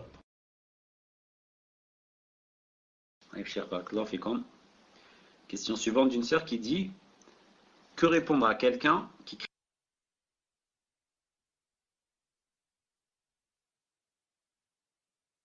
On a posé une question à Sheikh Ben On lui a dit, on lui a dit, euh, on est, on est une, euh, comment ça s'appelle, une maison d'édition, quelque chose comme ça. Euh, quand on nous envoie des livres, des livres pour, les, imprimer, ici en France, on nous demande quel est le prix, le prix du livre. Vous avez acheté ce, ce livre à combien pour l'imprimer ou quelque chose comme ça. On lui a dit un peu diminuer du prix. On l'a acheté par exemple 10 euros, on met que on l'a acheté quand on déclare, on met seulement 5 euros, alors qu'on l'a acheté 10 euros. Cheikh j'ai fait toi. Il a dit c'est permis. Il a dit tu, tu l'as acheté 10 euros, tu écris sur la feuille, il a dit des impôts 5 euros. Il dit 5. Pourquoi? Il a dit parce que tu n'as pas menti, mais tu as fait de sorte que tu as préservé ton argent pour qu'on ne te le prenne pas. Tu vas écrire 10, je ne sais pas combien, combien tu vas payer d'impôts. 5 pour diminuer, c'est tout.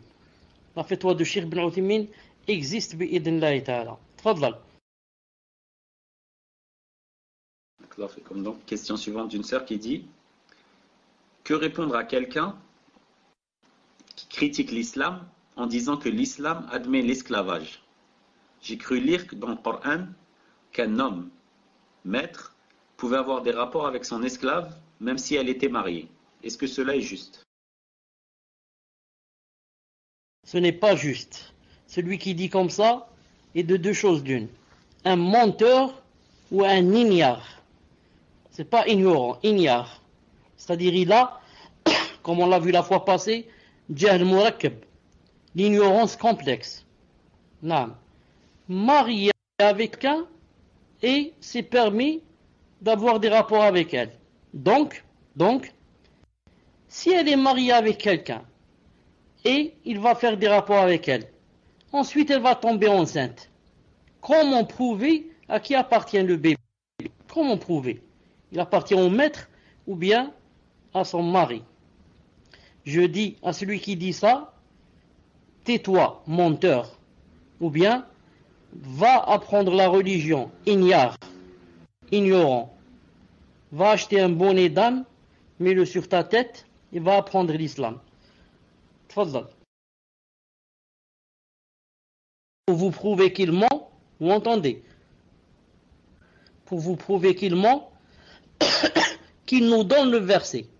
Qu'il nous donne le verset où Allah dit dans le Coran c'est permis au maître d'avoir des rapports avec la femme de l'esclave, qui nous donne le verset. Et que le Coran, il est là, entre nos mains. Il se trouve en arabe et en français, qui nous donne le verset.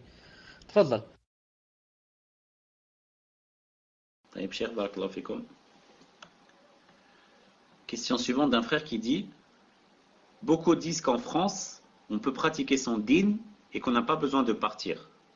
Pouvez-vous répondre à cette ambiguïté, Shir, et nous donner des motivations pour faire la hijra, Inch'Allah. Il manquait un ou deux mots dans la question, si c'est possible de la, reposer. Donc, euh, le frère dit beaucoup disent en France, on peut pratiquer son din, on peut pratiquer sa religion, on n'a pas besoin de partir. On peut pratiquer l'islam comme on veut, donc il n'est pas obligé de faire la hijra. Il dit, pouvez-vous répondre à cette ambiguïté et donner des motivations aux gens pour partir? La personne qui dit ça, ou bien est aveugle, ou bien veut faire l'aveugle, ou bien veut tromper les gens. si on peut appliquer notre din en France, pourquoi alors les sœurs qui sont en djilbab sont agressées? Ici en Algérie, quand une sœur en djilbab passe devant toi, tout le monde baisse les yeux et se tourne de l'autre côté pour la laisser parler, euh, passer. S'il dit quelque chose, il dit Masha'Allah, maximum. S'il veut lui dire quelque chose de pas bien, il dit Masha'Allah alik. Alors que là-bas, qu'est-ce qu'il dit? Il crache sur elle, il l'insulte, il lui dit Zoro, il lui dit je ne sais pas quoi. Et il dit des gros mots. Tout ça, s'il ne l'agresse pas avec un couteau, couteau, on ne la frappe pas avec un bâton. La même chose peut-être pour euh, le barbu et celui qui porte le risque. Ensuite, même viol, nam. Ensuite, si c'était possible, quand vous dites que on peut pratiquer l'islam comme on veut, en France, il n'y a aucun problème. Alors, je lance un défi à celui qui a dit cette phrase d'aller aux Champs-Élysées et d'amener avec lui 40 ou 50 jeunes et au milieu de la place, je ne sais pas s'il y a une place dans les Champs-Élysées, s'il y a une place, au milieu de la place, il fait le Adhan et il commence à prier en groupe. Et quand il termine, ils s'assoient tous et ils prennent le Coran, chacun lit et ils attendent jusqu'à l'Asr et ensuite font la prière de Asr, Maghrib et Isha. Et on va voir qu'est-ce qui va se passer s'ils peuvent appliquer le din. s'ils peuvent appliquer le din en France, alors je lui dis pendant l'Aïd, va ramener un mouton et fais-le descendre devant la police, au commissariat, et dis-leur, dis-leur, voilà, c'est un mouton que je vais égorger dans mon, appartement au quatrième étage. Tu dis au policier, si vous pouvez m'aider pour que je le fasse monter pour, pour l'égorger. S'ils vont accepter, s'ils vont t'aider pour le faire monter, tu vas voir s'ils vont pas t'emprisonner pour avoir égorgé une bête. Disent, tu as le cœur dur, les musulmans ont le cœur dur. Ils égorgent un mouton avec un couteau les sanguinaires, les musulmans, les sanguinaires, ils égorgent le mouton. Alors que, entre parenthèses, ils égorgent des êtres humains. Eux, avec le couteau, ils, égorgent des êtres humains. Nam. Et la bête, avant de l'égorger, il la frappe avec la massue. Nam. Ou alors il lui tire une balle dans la tête. Alors il, l'électrocute, l'électricité. Ça fait rien, ça, c'est bien, c'est doux. Oh, tu as été très gentil avec la bête, Masha'Allah. Tu as donné juste un, coup d'électricité, 250. Hein? un peu, Masha'Allah, toi tu es très doux. Un coup de tête avec la massue, regarde comme tu es doux. Masha'Allah, Alek. Le résultat, il n'y a pas de pratique d'islam en France, c'est pas possible. S'il avait dit, s'il avait dit, s'il avait dit, en Angleterre, peut-être j'aurais dit plus ou moins. S'il avait dit en Angleterre, on me laisse pratiquer mon din, je vais dans le jardin avec, euh, je ne sais pas comment il s'appelle, un jardin très connu en Angleterre, euh, Hyde Park ou je ne sais pas quoi, tu te mets sur, euh, tu mets une table, tu te mets dessus, tu prends le micro et tu parles de l'islam jours et nuits, personne ne te dit pourquoi. Mais pour dire en France, on peut appliquer l'islam, ça, tout le monde sait, dans son fort intérieur, dans son cœur, que c'est pas vrai. Tout le monde le sait, hommes et femmes. Tfadal.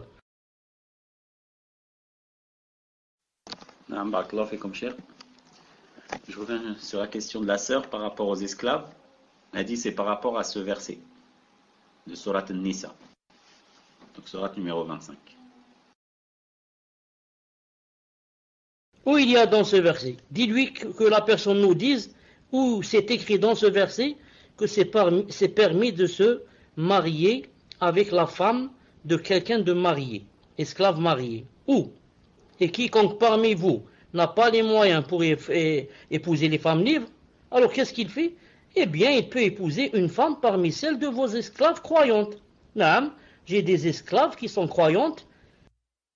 Épouser une femme libre, je vais épouser une, esclave croyante. Où est-ce que c'est dit qu'elle est mariée, que tout en étant avec son mari, je l'épouse Où c'est écrit ça Donc, qu'elle nous donne le verset qui dit qu'elle est mariée et que c'est possible en même temps de faire un rapport, avec elle.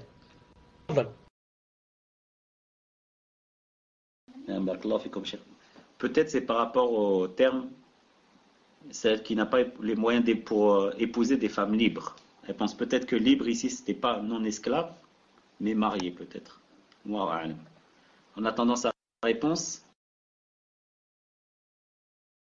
Non, ce sont seulement ceux qui connaissent le Coran, qui n'ont pas étudié, qui disent ces choses, des choses pareilles, c'est tout. Sinon, c'est très clair. Le, le verset est très clair. Quiconque parmi vous n'a pas les moyens pour épouser des femmes libres, eh bien, il peut épouser une femme parmi celles de vos esclaves, croyantes. Mais il n'a pas dit qu'elle était mariée avec un homme et lui, il va faire des rapports avec elle. Oui, ça dans, le verset? Allah connaît mieux votre foi, quand vous êtes les uns des autres, la même religion. Épousez-les. Écoute, il a dit épousez-les. N'a pas dit faites des rapports avec elles. Épousez-les. Avec, euh, qu'est-ce qu'il a dit ici? Épousez-les avec l'autorisation de leur maître. Naam, j'ai une esclave, moi et toi tu veux l'épouser. Tu l'épouses avec mon autorisation. C'est moi qui te la marie. Ensuite, elle devient quoi? Elle devient ta femme. Je ne peux plus l'approcher, car elle est devenue ta femme. Mais où Où il y a qu'on peut faire les deux? Si la personne n'a pas compris le verset, mais attention seulement qu'elle dise aux gens, voilà telle et telle chose c'est pas permis.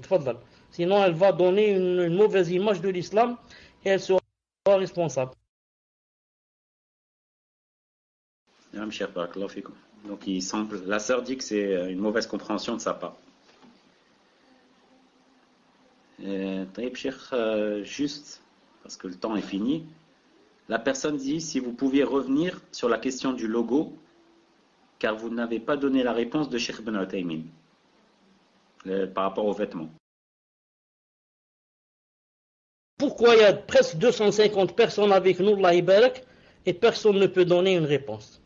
Pourquoi hein? Y compris toi, Fauzi, le boulanger. Fauzi, le boulanger, aussi n'a pas donné de réponse. Il nous donne qu'il y a des baguettes et il y a ceci, cela, mais il ne te donne pas la réponse de Shirm Alors, D'accord, je répète la question, Inch'Allah. Cheikh Ibn a cité que par rapport à celui qui avec des vêtements où il y a des, formes humaines, humaines ou animales, il y a des êtres humains, il y a de l'âme, de l'âme. Il a dit, certains savants ont dit, si tu as deux vêtements sur ta poitrine, et le premier, par exemple le tricot de peau, il contient par exemple, disons un lion. Un lion. Ensuite, tu mets par exemple un pull au vert a une veste. Et tu fermes la veste de, façon à ce qu'on ne voit pas le tricot de peau et on ne voit pas l'animal. Si tu pries comme ça, il a dit, ta salade est acceptée et tu as peut-être le péché d'avoir yani, prié avec un lion qui se trouve yani, sous la veste qu'Allah Ta'ala le voit, même si les gens ne le voient pas. Par contre, il a dit, si tu mets, si tu mets le tricot de peau, yani, en deuxième, c'est-à-dire, je vais mettre par exemple d'abord une chemise sur ma poitrine, et après la chemise, mettre un tricot sur la chemise, un deuxième, où il y a par exemple un lion, de façon à ce que quand je prie, il est visible. Et au-dessous, qu'est-ce qu'il y a? Il y a une chemise par exemple ou alors un autre tricot de peau. Il a dit comme ça, c'est moins que dans le premier cas. Pourquoi? Qui peut donner la réponse Entre-temps, pose une autre question si tu as cher. Je poser une question qui est importante pour la personne. Et je vais ouvrir mon PV. Mon PV était fermé. Et je crois celui de Fauzi. Je vais dire cher Fauzi. Aussi, donc, euh, voilà, j'ouvre s'il y a une personne, et uniquement pour les réponses, euh, pour répondre à cette question de Cher. Donc, euh, ceux qui ont une réponse à la question que Cher vient de poser, vous pouvez m'envoyer en privé. Et donc la question du frère Cher était Je me suis marié, et, et toujours, je me suis marié à la mairie française il y a 17 ans. Les témoins étaient des non-musulmans. Des frères m'ont dit que ce mariage est à refaire avec le tuteur de ma compagne sans réciter la Fatiha. Mais elle n'a ni père ni grand-père. Il dit, nous avons, je vais finir et je la relirai, cher. Nous avons un fils de 15 ans ensemble. Elle a aussi un petit frère de 28 ans qui fait la salette. Qui est le tuteur de ma compagne? Sachant que mes enfants, je, je les ai faits en étant sûr d'être dans le licite. Donc je répète, le frère dit, je me suis marié à la mairie française il y a 17 ans. Les témoins étaient des non-musulmans. Des frères m'ont dit que ce mariage est à refaire avec le tuteur de ma compagne sans réciter la Fatiha. Mais elle n'a ni père ni grand-père. Nous avons un fils de 15 ans ensemble et elle aussi un petit frère de 28 ans qui fait la salette, qui est le tuteur de ma compagne. par contre, il ne précise pas s'il était à ce moment-là musulman ou pas. Donc je vais lui demander. Ah non, ça c'est très important. S'il n'était pas musulman, ça change tout. Ensuite, il y a une chose très importante que je voudrais savoir, c'est est-ce qu'il a fait la walima? Est-ce qu'il a fait la walima, il a fait, et il a invité les gens, il est musulman, etc. à ce mariage? Très important qu'il réponde à ces deux questions. Il était musulman, et elle, bien sûr, chrétienne. Et la deuxième, est-ce qu'il a fait la walima? Suis en train de lire euh, vos réponses. Continuez à, les afficher. Barakallahu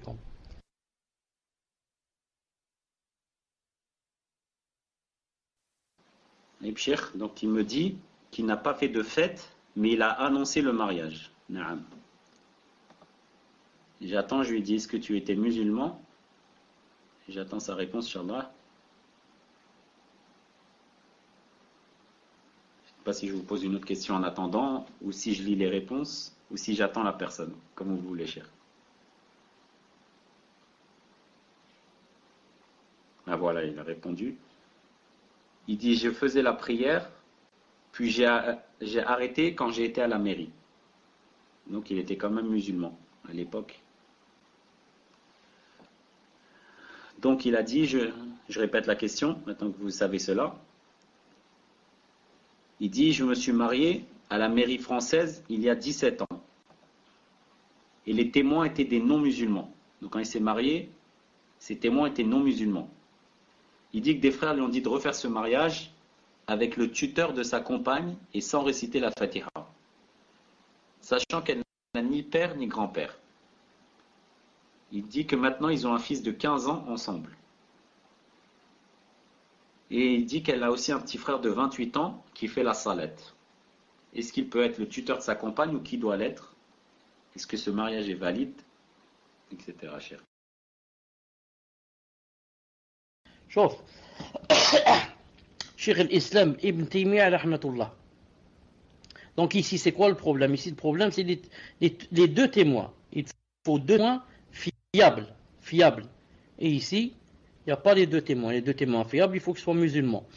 Donc, Cheikh l'Islam Ibn Taymiyyah a dit si jamais une personne se marie sans les deux témoins, mais annonce le mariage à tout le monde, aux musulmans, quoi?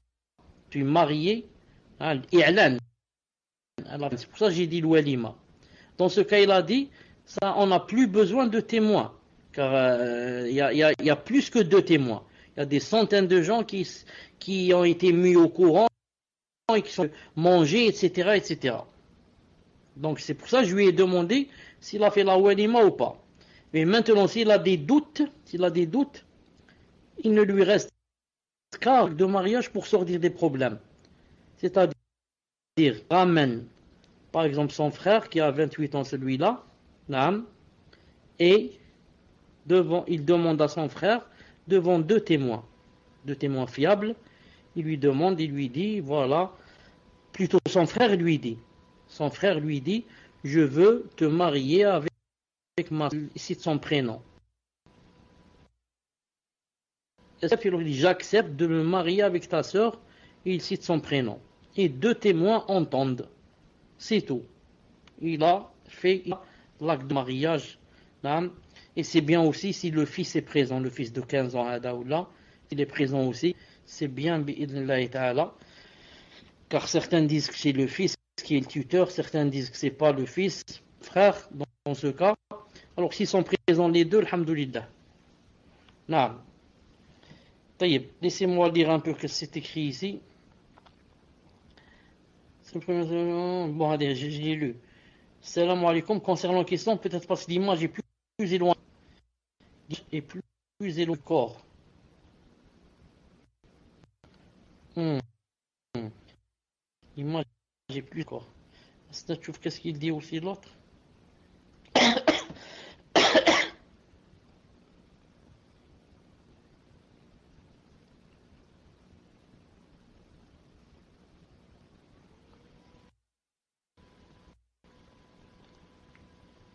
Est-ce qu'elle est avec plus éloignée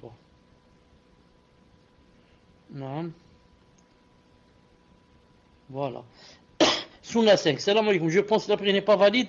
Dans le premier cas, c'est le fait qu'Allah voit tout. Si on le cache, on enlève un attribut d'Allah. Donc la voix. Non. Palmerie, contre au-dessus, avec l'image, être enlevé. Laminé. C'est pas cache qui ne fait pas bien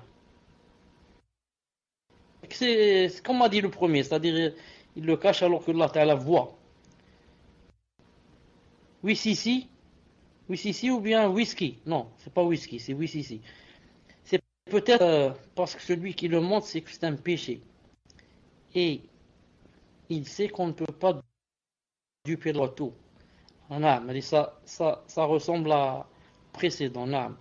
C'est pas celui qui cache, c'est ce qu'il fait, ce qu'on l'a dit on ne sait pas qu'Allah le voit, alors pourquoi cacher La même chose. Salam alaikum. Je pense que le fait de cacher peut être interprété comme si on voulait tromper Allah. Naam, c'est la même chose. Est-ce que, cher le cas où la salat est valide et le cas où ça n'est pas valide? Car j'arrive plus à suivre. J'ai l'impression la même chose la première fois. Si j'ai bien compris, celui qui cache l'image, sa prière n'est pas valide, et celui qui la montre, sa prière est valide. Mais Exactement, Naam, c'est comme ça. Celui qui a caché l'image, c'est pas caché.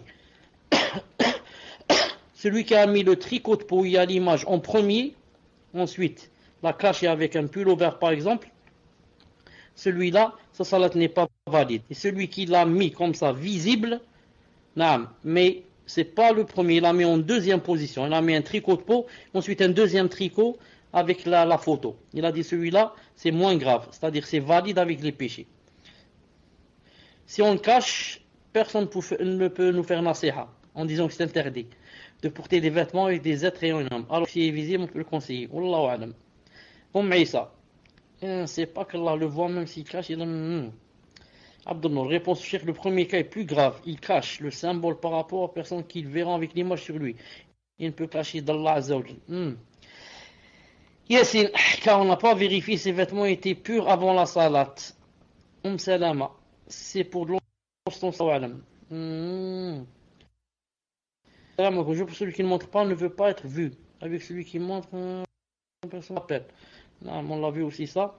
Rayhana, salam alaikum. Le fait de le cacher aux gens est pire. Si on le cache aux gens, c'est qu'on voulait accorder une grande importance.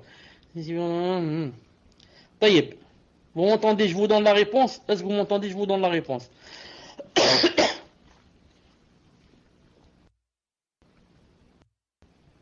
Taïb. Attendez. Ibn Muhammad, par rapport aux frères du mariage, les, deux témoins, etc., est-ce que c'est réglé? Est-ce que c'est réglé, Inch'Allah Ta'ala? Est-ce que c'est réglé? Est-ce que tu m'entends, Ibn Muhammad? Non, cher, je vous ai dit, il demande si son fils est vraiment son fils ou pas. Donc, est-ce qu'il peut le considérer comme son fils ou pas?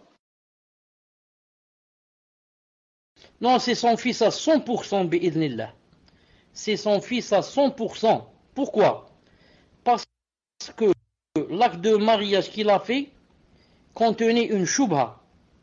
Il y a une grande différence entre l'acte qui contient une shubha et l'acte qui contient quoi? Qui contient quelque chose d'invalide. Tous ont dit que si l'acte contient une shubha, les enfants sont ses enfants. ici, il a une shubha dans le acte. Les questions sont terminées. On demande juste est-ce que c'est permis d'assister au mariage civil en France quand cela est fait à la mairie? Est-ce que les personnes peuvent quand même y assister ou pas Quand c'est des gens de leur famille ou autres qui se marient? Et ce sera la dernière question en attendant que vous nous donniez la réponse, cher. Le vrai mariage, c'est le mariage religieux. C'est là qu'on des efforts, Inch'Allah Ta'ala, pour assister. Quant à la mairie, c'est juste pour faire les papiers. C'est juste pour faire les papiers. Surtout que celui qui va marier, vous savez ça. Non. Donc c'est pourquoi je vais à la mairie. C'est pas pour que je me marie, pour avoir les papiers. S'il n'y avait pas de papiers et que je n'avais pas besoin de papiers, c'est pas la peine d'aller à la mairie. Donc celui qui veut assister, qu'il assiste, Inch'Allah Ta'ala, au mariage religieux, le mariage où il a des hasanat quand il assiste. Non. Pour euh, celui qui prie avec le tricot de peau, et s'il le met en première position sur le buste, et la différence que s'il le met en deuxième position, c'est-à-dire il met quelque chose avant lui, ensuite le deuxième. Vous savez que parmi les conditions de la salat, parmi les conditions de prier, il faut être habillé. Vous savez ça, il y a la condition de l'habit et que les habits soient purs aussi, et le parterre qui soit pur, et euh, la troisième des choses, euh, et que moi-même je sois bien sûr, je sois pur. Maintenant, les habits que je dois mettre doivent être des, des habits de halal. Je ne vais pas prier, par exemple, avec un habit qui contient, par exemple, qui est fabriqué, par exemple, avec, euh, je ne sais pas, le, la peau, la peau, par exemple, d'un animal qui n'a pas été égorgé.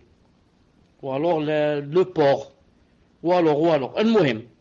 Donc il y a aussi les vêtements qui jouent un grand rôle dans la prière.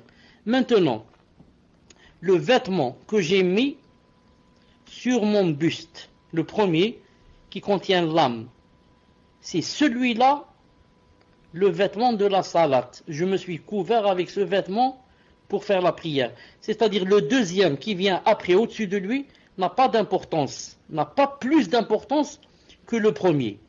Quand tu as mis le premier avec, il y a le, lion ou quelque chose, donc tu as prié avec ce lion en le mettant dans les conditions de la salade. Car c'est avec ce lion que tu as couvert ton corps. Parmi les conditions, c'est de couvrir le corps pour prier. C'est avec ce tricot que tu l'as mis en condition. Par contre, si ce tricot, tu avais mis un tricot normal blanc, le premier sur le buste. Ensuite, le lion, le tricot du lion, en deuxième position. Celui-là, c'est un tricot qui est en plus seulement. Tu as des péchés pour, le lion seulement. Mais ce tricot ne, ne, fait pas, ne rentre pas dans les conditions de la salade. C'est pas lui qui est en train de couvrir ton corps avec lequel tu, es, tu pries. Mais c'est le premier tricot qui, qui couvre ton corps.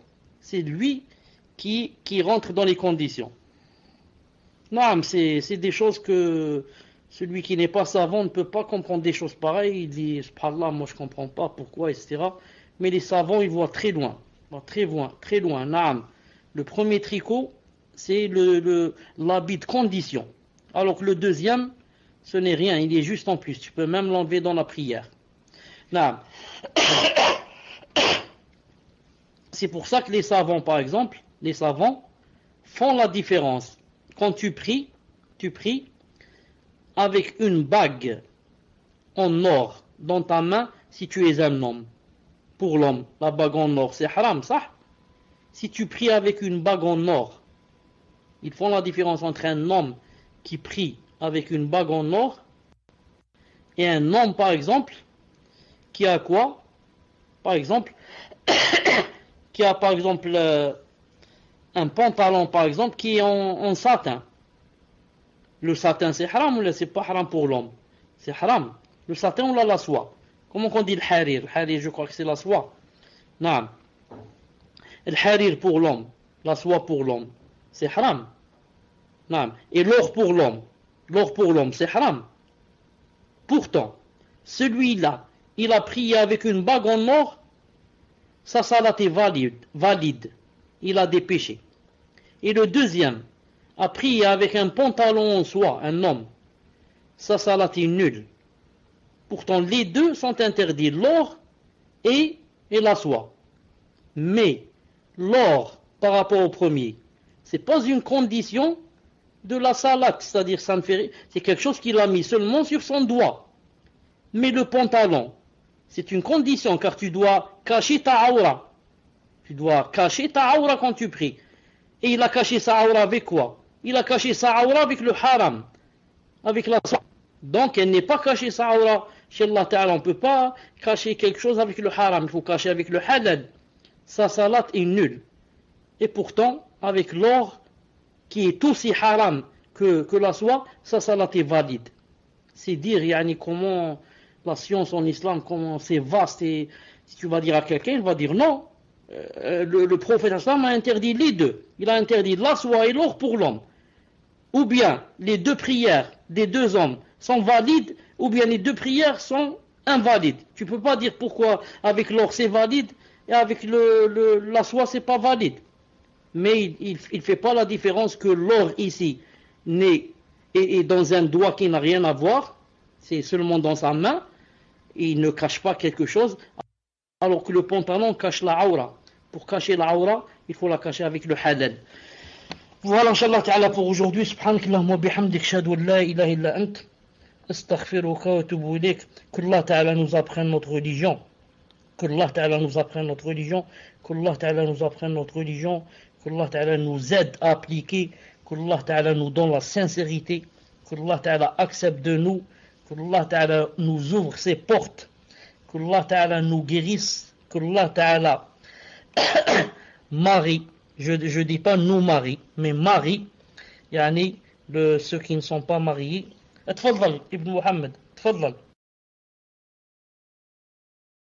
Amin, barakallahu. Désolé de vous retenir, car il est déjà tard. En fait, c'est le frère qui demande. Il dit Désolé, mais la réponse n'est pas claire pour moi. Est-ce que le frère de ma compagne est le tuteur Ou bien notre fils? Car j'ai honte de dire cela à mon fils. Barakallah fait comme cher. Je ne comprends pas la phrase le frère de ma compagne. C'est qui la compagne En train de parler de sa femme ou bien il y a une autre? J'ai pas compris. Le frère de ma compagne. C'est qui la compagne? Celle-là, c'est sa femme. Pourquoi il dit la compagne Si c'était pas sa femme, comment je lui ai dit que euh, ton enfant, c'est ton enfant Alors comment Son enfant, c'est son enfant, et celle-là, c'est sa compagne. J'ai pas compris ça. Donc dis-lui pourquoi il dit ma compagne.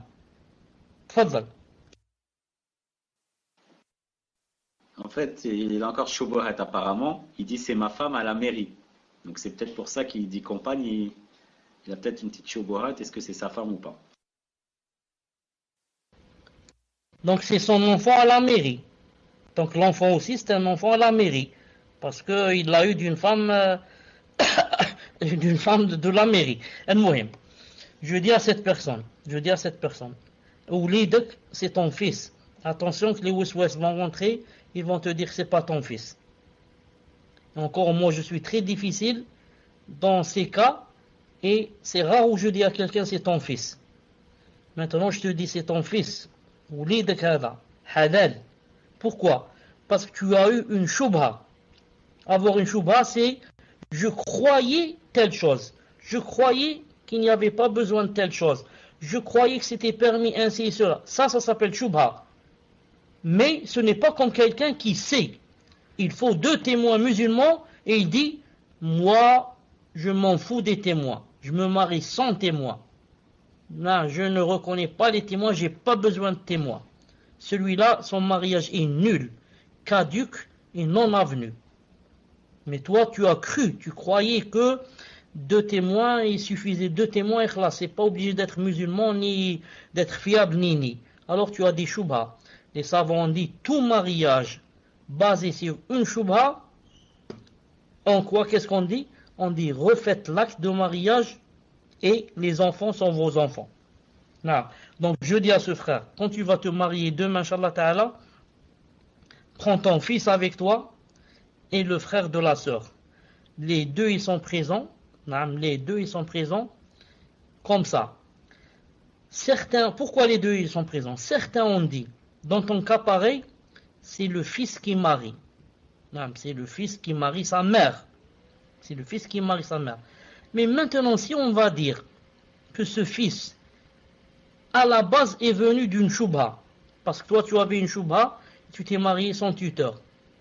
Donc, dans ce cas, on va mettre avant lui le frère. Alors nous, pour sortir des problèmes, on va les faire venir les deux. Et le fils et le frère de cette sœur. Et l'un des deux, l'un des deux va demander. Le frère dit même si on pensait que le concubinage était halal. Qu'est-ce que ça veut dire, cette question? C'est-à-dire ici on pensait que le concubinage était halal. Alors qu'est-ce qui en découle? C'est quoi ce qui doit venir après? Donc en gros, est-ce que ça change quelque chose Le fait qu'à ce moment-là, donc avant, c'est-à-dire qu'il côtoyait sa femme avant le mariage, par rapport au fait que, euh, il demande juste, pardon, est-ce que le fait qu'il était en concubinage, qu'il vivait avec cette personne avant de faire le mariage, est-ce que ça change quelque chose? Oui, ça change beaucoup, ça change s'ils vivent avec elle en concubinage, ils ne peuvent pas se marier avant que les deux n'aient fait la tauba. Il faut que elle, de son côté, regrette ce qui s'est passé, et fasse la tauba. Et lui aussi regrette de l'avoir, euh, c'est-à-dire d'être, euh, d'avoir vécu avec, avant le mariage et fait la tauba. Il dit dans cas, je et si c'était à refaire, je ne l'aurais pas refait. Et si ça, se, fait dans l'avenir, je ne le ferai jamais. Il regrette, il demande pardon à Allah les deux. Et, yani, ils refont le mariage. Ils appellent le tuteur, ou bien son frère à elle, ou bien son fils, ou bien les deux encore, c'est mieux. Et deux personnes sont présentes fiables. Il n'y a aucun problème, bin Est-ce qu'il a autre chose? Est-ce qu'il a une dernière chose? Peut-être qu'il a dit ouest. Tfadal. Il dit j'aurais préféré juste le frère. Il dit j'aurais préféré juste le frère. Non, j'ai des doutes. Pourquoi? Parce que en islam, le fils passe avant le frère. En islam, il y a une disposition. On ne peut pas sauter sur les tuteurs. Exemple, la femme qui veut se marier à son père. On ne peut pas aller à son frère. Je vais voir le frère de la femme, je lui dis, donne-moi ta soeur. Alors qu'elle a son père. Je ne peux pas, le mariage est nul.